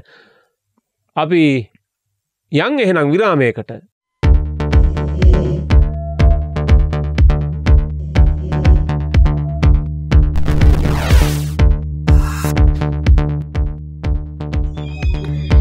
ජීවිතය කියන්නේ විඳින්න තියෙන දෙයක්. නැතුව විඳවන්න තියෙන දෙයක් නම් නෙවෙයි. ඇත්තටම මං සංචාරයට පෞද්ගලිකම හරිම කැමති. මේ සංචාරයේ විශේෂත්වය වන්නේ මං ගොඩාත්ම ආදරය කරන තැනක් තමයි සීගිරිය. සීගිරියේ සමහරයට ඒ කාලවල අපි ජීවත් වෙන්න ඇති. නමුත් අද මේ සංචාරයේ දවස් හතක් ගත කරන එක ගැන මට හරිම සතුටුයි. හේතුව මං ගොඩත් තැන්වල දවස් හතක් ගත කරන්න කැමති. මෙහිදි විශේෂත්වය වන්නේ මේකේ ප්‍රාමාණික විද්වතෙක් සමඟ මේ පිළිබඳ ඉතිහාසය සාහිත්‍යය කලාව ආර්ය පිළිබඳ හොඳ දැනුමක් තිබෙන මේ ප්‍රවීණයෙක් ප්‍රාඥයකු සමඟ ගත කරන්න ලැබෙන එක. සමහර දේවල් ඉවෙන් වගේ අවබෝධ කරගත්ත දේවල් වල ගැමුර එහි තියෙන ආර්ථය ඉතාම පැහැදිලිව දැනගන්න පුළුවන් ඇත්තටම මේවැනි සංචාර තවත් බිහිවෙනවනක් හොඳයි මං මේක උපරිමයෙන් වින්ද. ඒ සංවිධානය කරපු සියලුම දෙනාට මගේ ස්තුතිය පිරිනමනවා. යළිත් අපි අවසාන කොට සමඟ අල්ලිමිට ඩිස්ටි වැඩසටහනේ. ඉතින් අද අ, බොහොම රසවත් ඒකම අපිට යම්කිසි ආකාරයක අපේ ඇඟටත් නිකන් අමුතු ජවයක් එන අ, කතාබහක තමයි නිල්ලා හිටියේ. අ, පරාක්‍රම බහු රජ්ජුරුවන්ගේ අ, ලංකපුර සෙනවයා පාණ්ඩ දේශයට වැදිලා එහි යුද කරලා පරාක්‍රමපුරේ එහි හදලා අ, ප- මේ පරාක්‍රම පාණ්ඩය මියගිය කුලසේකර විසින් මරාදමු පරාක්‍රම පාණ්ඩියගේ පුතුව එහි රජ කරලා ඒ පුතා ලංකාව පැත්තට හැරිල්ලා නමස්කාර කළ රජකම භාරගන ඉතින් ඔය කතාව තමයි අ, අපි කලින් කොටස කිව්වේ ඒක සවිස්තර ඔබට ප- පෙර කොටසට ගිහිල්ලා අහගන්න පුළුවන්. අපි අ, මේ කොටසට එන්න කලින් අ, පුංචි මතක් කිරීමක් අ, අපේ අ, බොහෝ දෙනෙක් විමසන සෙවන්ඩේ ඉන්සීගිරිය වැඩසටහන ආය මාර්තු මාස තියෙන්නේ කියලා අපි පළවෙනි කොටස කිව්වා. විශේෂයෙන් මේ මතක් කිරීම කරන්නේ මාර්තු අ, මුල් කාලේ ඒ වැඩසටහන අපි යොදා ගන්නවා.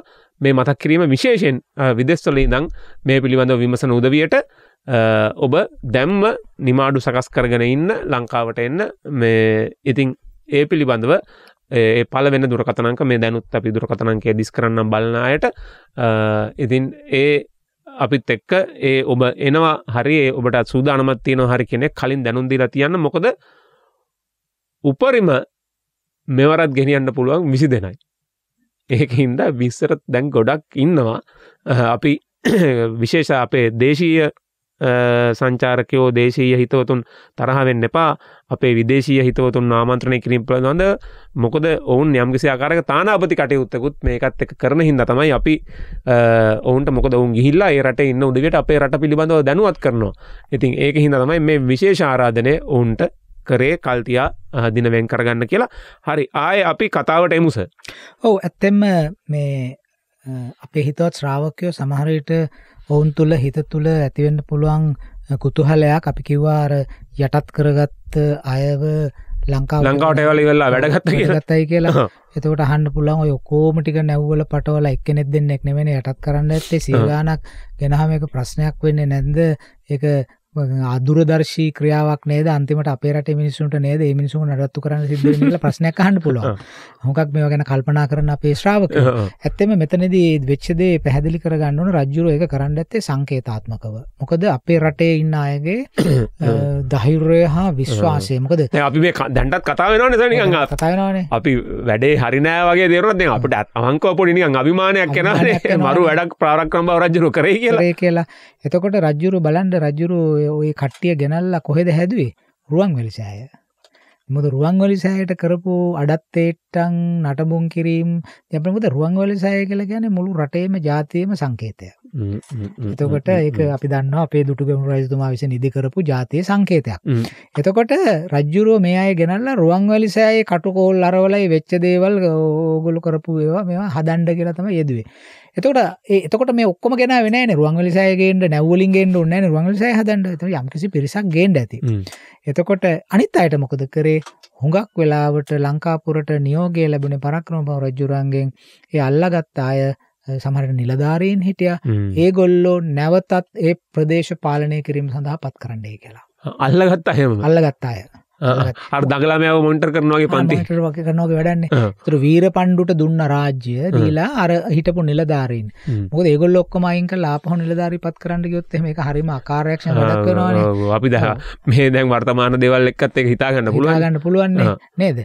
එතකොට මේ ඒ විදිහට ඒ රජ්ජුරුව අන කලා මේ ඒ පලාත්වල පාලනයට එක පත් කරන්නේ ස මේ- මේ මේ ඕකින් ම- මතුවෙන අතුරු කාරණයක් න දැම පරාක්‍රම බහු රජ්ජුරුව මහවිහාරය පැත්තේ නෙමේ වගේ හිටිය කියලා අදහසක් තිබුණනේ.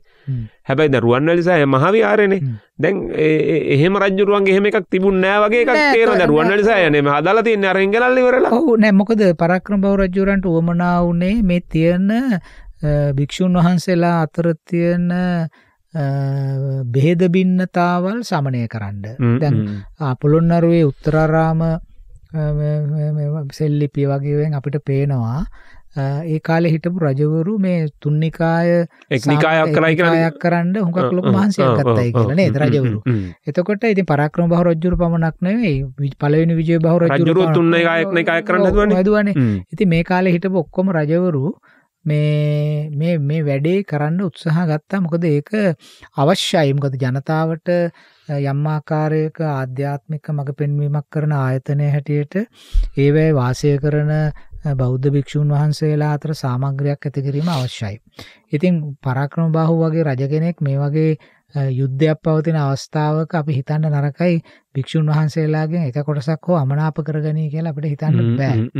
ඉතින් අතන මහාවිහාරය පාක්ෂික වෙනවට වැඩිය මට පේන්නේ රුවන්වැලිසෑය ප්‍රතිසංස්කරණය කරන්න යෙදුවයි ගැන මුද රුවන්වැලිසෑය තමයි මේ මුළු සමස්ත සමාජයම සංකේන්ද්‍රගත වෙච්ච ප්‍රධාන ස්මාරකය අනුරාධපුරේ තියෙන. ඉතින් දැන් අද වුණත් එහෙම නේ දරුවන් කිසිම කෙනෙක් යන්නේ නැහනේ බාරහාර වෙන්න අබේගිරියට දිවුරුම් දෙන්න අබේගිරියට නේද? ඒවට යන්නේ රුවන් වැලිසෑයට බාරහාර වෙන්න යන්නේ. ඉතින් ඒක තවමත් ඒ රටේ ප්‍රධාන ස්මාරකයේ බවට පත් වෙලා තියෙනවා මේ ඒ ආධ්‍යාත්මික අර්ථයකින්. ඉතින් ඒ නිසා රජ්ජුරෝ ඒ සංකේතාත්මකව ඒක කරන්න ඇත්තේ රුවන් වැලිසෑය රුවන් වැලිසෑය ප්‍රතිසංස්කරණය කරනවා කියලා කියන්නේ යටත් කරගෙන අල්ලන් ආපු අය මුළු රටටම සේවය කරාව කියන සංකේතයක් හැඟීමක් යනවා හැඟීමක් යනවානේ නේද? බලන්න චින්තනය නේද? ඒ චින්තනය හරි තවත් නටබුන් වෙච්ච කොච්චර වෙර විහාර තිබුණාද? ඒවා නෙවෙයි රුවන්වැලිසෑය ප්‍රතිසංස්කරණය කරන්නයි මේක යෙදුවේ. ඒ වගේම නුවන් අපි මේ අවස්ථාවේදී අර පරාජයට පත්වෙච්ච පාණ්ඩය සේනාපතිවරුන්ගේ නාමලේඛනයක් කිව්වා වගේම මේ ලංකාපුර සෙනවයා මූලික කරගෙන පරාක්‍රම බාහු රජු විසින් මෙහෙවපු මේ පාණ්ඩය යුද ව්‍යාපාරයේදී මූලිකත්වය ගත්ත අපේ සේනාංකාධිපතිවරු ගැනත් අපි මතක් කරන්න ඕන ලංකාපුර හැරුණු විට ලංකපුරත් එක්ක හයියට හිටිය කටියට හිටපු සේනාකාධිපතිවරු පළවෙනි එක්කෙන ලංකාපුරදේව. බලන්න ඔගොල්ලන්ගේ නම් ලංකාපුරදේව. දෙවනිය ලංකා ගිරිසෝර අනිත් එක්කෙන ගෝකන්න. කේස ධාතු ලෝක. මේ වගේ සෙනව ගෝකන්නගෙන සමල ත්‍රිකුණාවලින් පැත්තෙන් අපේ කෙනෙක් වෙන්න පුළුවන්. එතකොට බලන් දෙගොල්ලගේ අනන්නතාව ලංකා පුරදේව ලංකා ගිරිසෝර එතකොට ඒගොල්ලෝ මේ පෙනේ හිටියේ ජාතික වාත්සල්ලයක් ඇති අය හැටියට. ඉති ඒවගේ නම් රාශයක් තියනවා අපේ සේනාපතිවරු ගැන. ඉතින් අපි මේ අයත් අපි සිහි කරන්න ඕන. මේ අභිමානයක් ගෙනාපු අපේ සේනාංකාධිපතිවරු ගැන. පාණ්ඩේ රට යහපත් කරන්න එහෙත් හරි පාලනයක් පීටවන්ඩ අපෙන් ගිහිල්ලා එහ දිවිපු දෙපු අපේ හෙළයොත් ඇතින ඕන තරගින් ඕන තරගින්න එතකොට දැම් බලන්න මේක මේක හරියට අදාර සාමසාධක හමුදාවක් ඔවු ලංකාවටවෙල දැන් අපේ රට වෙනුවෙන් එක අත්‍රාකාරයට ඉන්දිය ජාතිකයෝ දීපිදුහන්නේ ඔව. ඒ වගේ අපේ අයත් මේ පාණ්ඩිද අනික මෙහෙම රටක් අල්ලගන්න කියන හියා නෙවේනේ ඒ කියන්නේ රජුට හිතවත් රජු යම්කිසි සාධාරණයක් එක්තරාකාරක සාමසාධක හමුදාව සාමසාධක හමුදාවක්. ගිහිල මේ. මේ කටයුත්ත කළේ. ඉතින් ඇත්තෙම්ම මේ ලංකාපුරට යුද්ධ ගෙනියන එක එතන ලේසි වුනෙත් නෑනුවන් මොකද පරක්‍රම බහු රජ්ජුරන තමයි එකට මුණ දෙන්න වුණේ දැන් මේ පාණ්ඩ්‍ය කට්ටියගේ දෙන්නෙක්න කුලසේ කරයි පරාක්‍රම පාණ්ඩයයි එතට දැන් පරාක්‍රම පාණ්ඩක පැත්තට උදව් කරන්නනේ මේ ලංකාපුරගේ සේනාවගේ පරාක්‍රම බවරජ්ජුරන්ගේ සේනාව ඉති ඇත්ත වශයෙන්ම මේ මේ ලංකාපුරට කුලසේකරට එරෙහිව ගෙනියන සටන යම්කිසි දුෂ්කරතාවයකට මූුණ පාණ්ඩ උනානක් මූුණ පාණ්ඩ වෙච්ච කාරණය ඓතිහාසික මුලාස්වල තියෙනවා. එහෙතුව තමයි ඒ අය යුද්ධයට සහභාගි වෙච්ච ඒ දැන් කියන පැති දෙකක් තියෙනන කුලසේකරගේ පැත්තයි පරක්‍රම පාණ්ඩයක පැත්තයි. එතර පරක්‍රම පාණ්ඩයක පැත්තේ අයන ලංකාපුරට උදව් කරන්න. දව කරන්න එතර ලංකාපුරට මේක උදව් මේ සටන කරගෙන යනකොට මේක කරන්නට දුෂ්කර වුණේ. අර පරාක්‍රම පාණ්ඩයක පක්ෂය හිටපු අය ලාභ සත්කාර ප්‍රයෝජනය තකා පිල්මාරු කිරීම නිසයි කියලා වංස කතාවේ සඳහන්නවා. ඒ ගැන සටනක් කරන්න ගියත් හරි පිල්මාරු කරන එක. උන්වෙනුවෙන් අපි ගිය. ඒගොල්ල වෙනුවෙන් අපි ගියේ. මේගොල්ලෝ ගිල්ල පිල් මාරු කරන සමහට දැනද දැන් කුලසේකරගේ පැත්ත ගත්තොත් අපට යම්කිසි ලාභ ප්‍රෝජනයක් තියෙන කුලසේකරගේ පැත්තනු තල්ලස් සරෝමය දීලව කරන්න දිනාගන්න හරි අර මුලින්ම මේ පරක්‍රම රජරු දැක්කන්න පරක්‍රම පාණ්ඩට වැඩි කුලසේකර බලවත් කියලා. බලවත් කියලා. මොකද ඔහු අල්ලගෙන අල්ලගෙන පල්ලහට ඇවිලන පරක්‍රම පාණ්ඩට එරෙවුණේ ඉති සමාරයට ලංකාපුර දැන් කොහැර ඉලක්කයකට පහර හ්ම්. මේ ඔක්කොම ලෑස්ති වෙලා දැන් හෙට උදේ අලුයම යාම මේක පහර දෙනවායි කියනකොට සමහරට ඒකට රෑකඟ වෙලා උදේ පැදුරටත් නොකිය ගිහින්. පැදුරටත් නොකිය යන්න පුලා මොද අපි දැකල තිරන එක රැයින් තීරණ වෙනස් වෙන හැටිනේ. ඇති ඒක ඒ ඒක සතහන් වෙලම තියෙනවා මේ ඉතිහාසේ ලංකාපුරට මේ සටන ගෙනියන්ඩම් බැරි වුණේ මේ ලාභ ප්‍රයෝජනතකා පිල්මාරු කරන අය ඒ පැත්තේ හිටපු හින්ද කියලා වැඩිපුර ප්‍රමාණය. කෙෂෝ හේවා මේ මේ මේ සටන බොහොම ඉස්සරහට අරංගයා නමුත් කිසිම අවස්ථාවක මේ සටන නිසා රට ඇතුළේ දේශීය ආර්ථිකයට කිසිම බලපෑමක් ඇතිවෙන්ඩ පරක්‍රම බෞරජුරු ඉඩ දුන්නෙන් නෑ හ්ම්, හ්ම්. කෙනෙක් විවේචනය කරන්න පුළා ඔගොල්ල යුද්ධ කරනවා අපි මේක මිල ගෙවන්ඩෝන කියලා. නමුත් එහෙම එකක් උනේ නෑ හරි.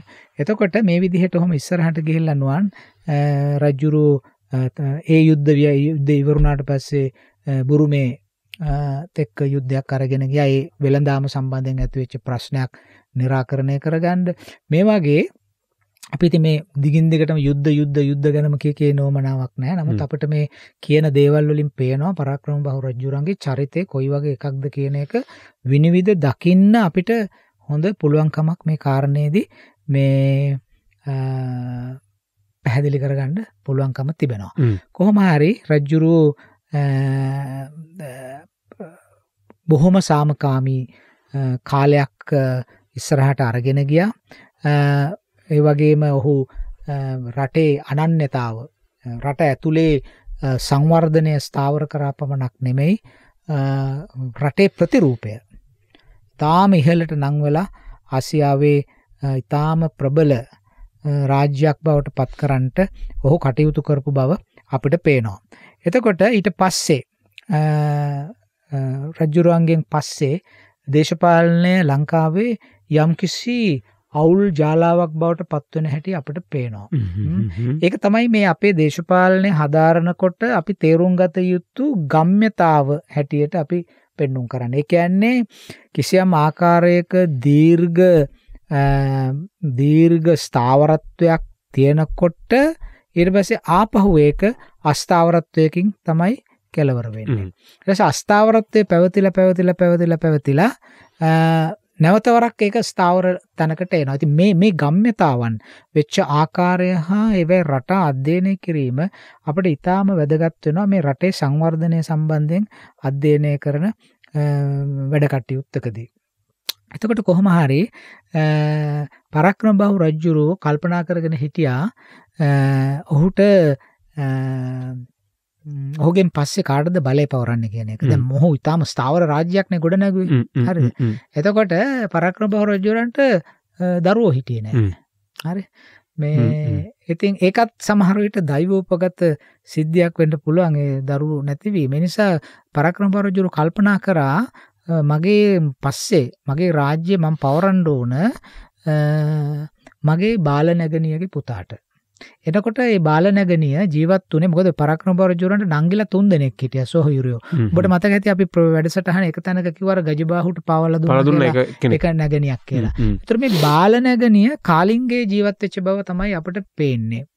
මේ මොකද මේ කාල වෙනට ඉතාම කාලිංගත් එක්ක තිබිච්ච සම්බන්ධතාව අපට හොඳටම පැහැදිලි. එතකොට එක ඒ රාජතාන්ත්‍රික විවාහයක් සිද්ධ වෙලා. සිද්ධ වෙලා ගැන වටේම හොඳ ගණදනුවක් පරක්‍රම බව රජ්ජරු තියන්. තින වා විවා කටයුතු කාලිංග දේශත්තක කරගන්නවා. මේ පණ්ඩ දේශත්තක යුද්ධ කරනවා. කරනවා. ආරේ රාමං්්‍ය දේශයට පහර දෙනවා. මේ ඉතින් ඔය වගේ එකැන ඒ විවාහ සම්බන්ධතා ඒ ඥාති සම්බන්ධතා තමයි ඔහුගේ බලය ස්ථාවරතත්වයකට ගේන්ඩ බල පෑවිති රජ්ජුරෝ හිතාමතාම තමයි ඒව කරන්න ඇති අපි දැක්කන ගජබාහුගේ තොරතුරු රැස් කරන්න ගිහිල්ලා ඒ වෙනට හිලව්වට තිබෙ තමගේ සොහයුරේන. පාවල දීලා. ඉතින් පාවල දෙනයි කන අපි අද කියන පාවල දීමනේ සරණ පාවාද සරණ පවාදීලා සරණ පාවාදීලා මේ ඒ තොරතුරු ටික එකහු කරගත්තා. දැන් කෙනෙක් අපි මේවා මේ හොඳද නරකද වැරදිද හරිද කියලා කියනනේ මේ හ්ම්. ඉතිහාසය තුළ සිද්ධ වෙච්ච දේවල් මේවයි. එතකොට ඒ වෙලාවෙදී පාලකෙක් හැටියට ඔහු රට වෙනුවෙන් තැකෙනෙක හනපල ඔක්කොම කළ රට වෙනුවෙන්ද බලයට තියෙන කෑදරකම වෙන ඒ දෙකම සමාන්තරයි. රට හදන්ඩ නං බලය ඕඩනේ. ඉතින් බලය ලබාගෙන සහ බලය පාවිච්චි කරන ආකාරය අනු තමයි ඉතින් පුද්ගලයා තිරණය වෙන්නේ. නොත් පරාක්‍රම ඉතාම අ, අවංකව ඉතාම නිවැරදිව තමන්ගේ බලය ලබාගත්තා වගේම බලය රටේ හිතකර භාවය පිණිස යොමු කරා. එතොර කෞද පලවෙනි පරක්‍රම බව රජතුමාගේ රාජ්‍ය කාලය අවුරුදු තිස්තුනක් කියල සාමාන්‍යෙන් පිළිගන්නවා ඇත හ්ම් හ්ම්. ඉතිහාසක්ඥගෙන තිහයි කියලා. කෙසෙත් අපි තිස්තුනයි කියලා කිවොත්තේම තිස්තුන කාල පරිච්චේද තුළ දශක තුනයි අවුරුදු තුනක්. ඉතාම සාර්ථක ඔහුගේ පාලනය අරගෙන ගියා. අරගෙන ගියා අරගෙන ගියා කියලා අපි පේනවා නමුත් ඒක යට තියෙන සමහර දේවල් ගැනත් අපට කතා කරන්න පුළුවන් ඉදිරියේදී.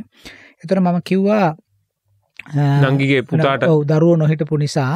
භාගිනෙయ్య කියන්නේ බෑනා බෑනට නංගිගේ පුතාට තමයි රාජ්‍ය පවරන්ඩ තීරණය කරේ ඔහු දෙවැනි විජයබාහු නමින් රජ වුණා. පරක්‍රම බහරජ්ජුරකින් පස්සේ එහෙම පලාගෙන ගියාම ඕකේ මුත්තත් විජය බහුනේ විජයබාහුනේ ආ. දෙවැනි විජයබාහු නමින් රජ වුණා මේ හැබැයි අපිට පේනවා පරක්‍රම බහු රජතුමා ජීවත්වෙන කාලේ අවසාන කාලයේම මේ බලය පිළිබඳ ලොකු අරබුදයක් සමාජය තුළ තියෙන සමාජය ගැන මහජනයා තුළ නෙමෙයි.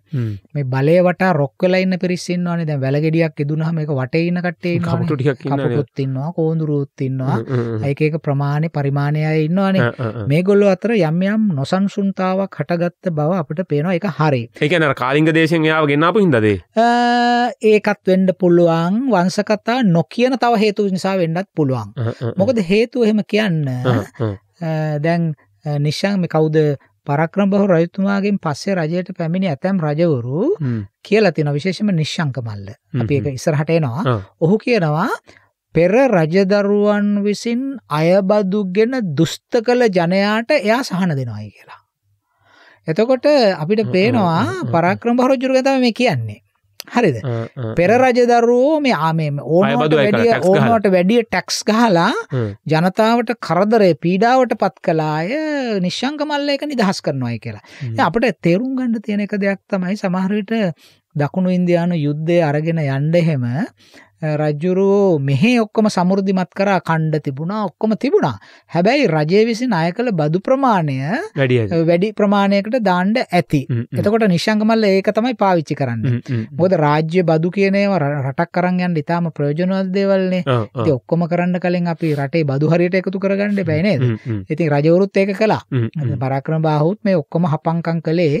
ඒ රාජ්‍ය බදු යම් කිසි මට්ටමකට පවත්තාගෙන ගිහිලා රාජ්‍ය බදු වැඩි කරනවාය කියලා කියන්නේ මිනිස්සු ඇඳ උඩ ඉන්න මනුස්සයට පයිංගහලා බිමට දාලා බිම ඉන්න මිනිහගෙන් බදු වැඩිපුරාය කරන එක නෙමේ ආ. අපේ පාලකයෝ එහෙම කළේ නෑ. අපේ පාලකයෝ කරේ ඇඳේ ඉන්න මිනිහට තව පුළුවන් නම් හොඳ බෙඩ් එකක් දාලා දෙන්න ඉවරලා එතනින් ගණන් ගන්න එක. ඒකෙන් වැඩි බදු අය කරන එක ඒක තමයි අපේ බදු ප්‍රතිපත්තිය හැටියට පේන්නේ මොකද අපිට ඒක අපි මේ පරක්‍රම බහු රජතුමාගේ පැත්ත අරගෙන කතා කරනවා නෙමෙයි.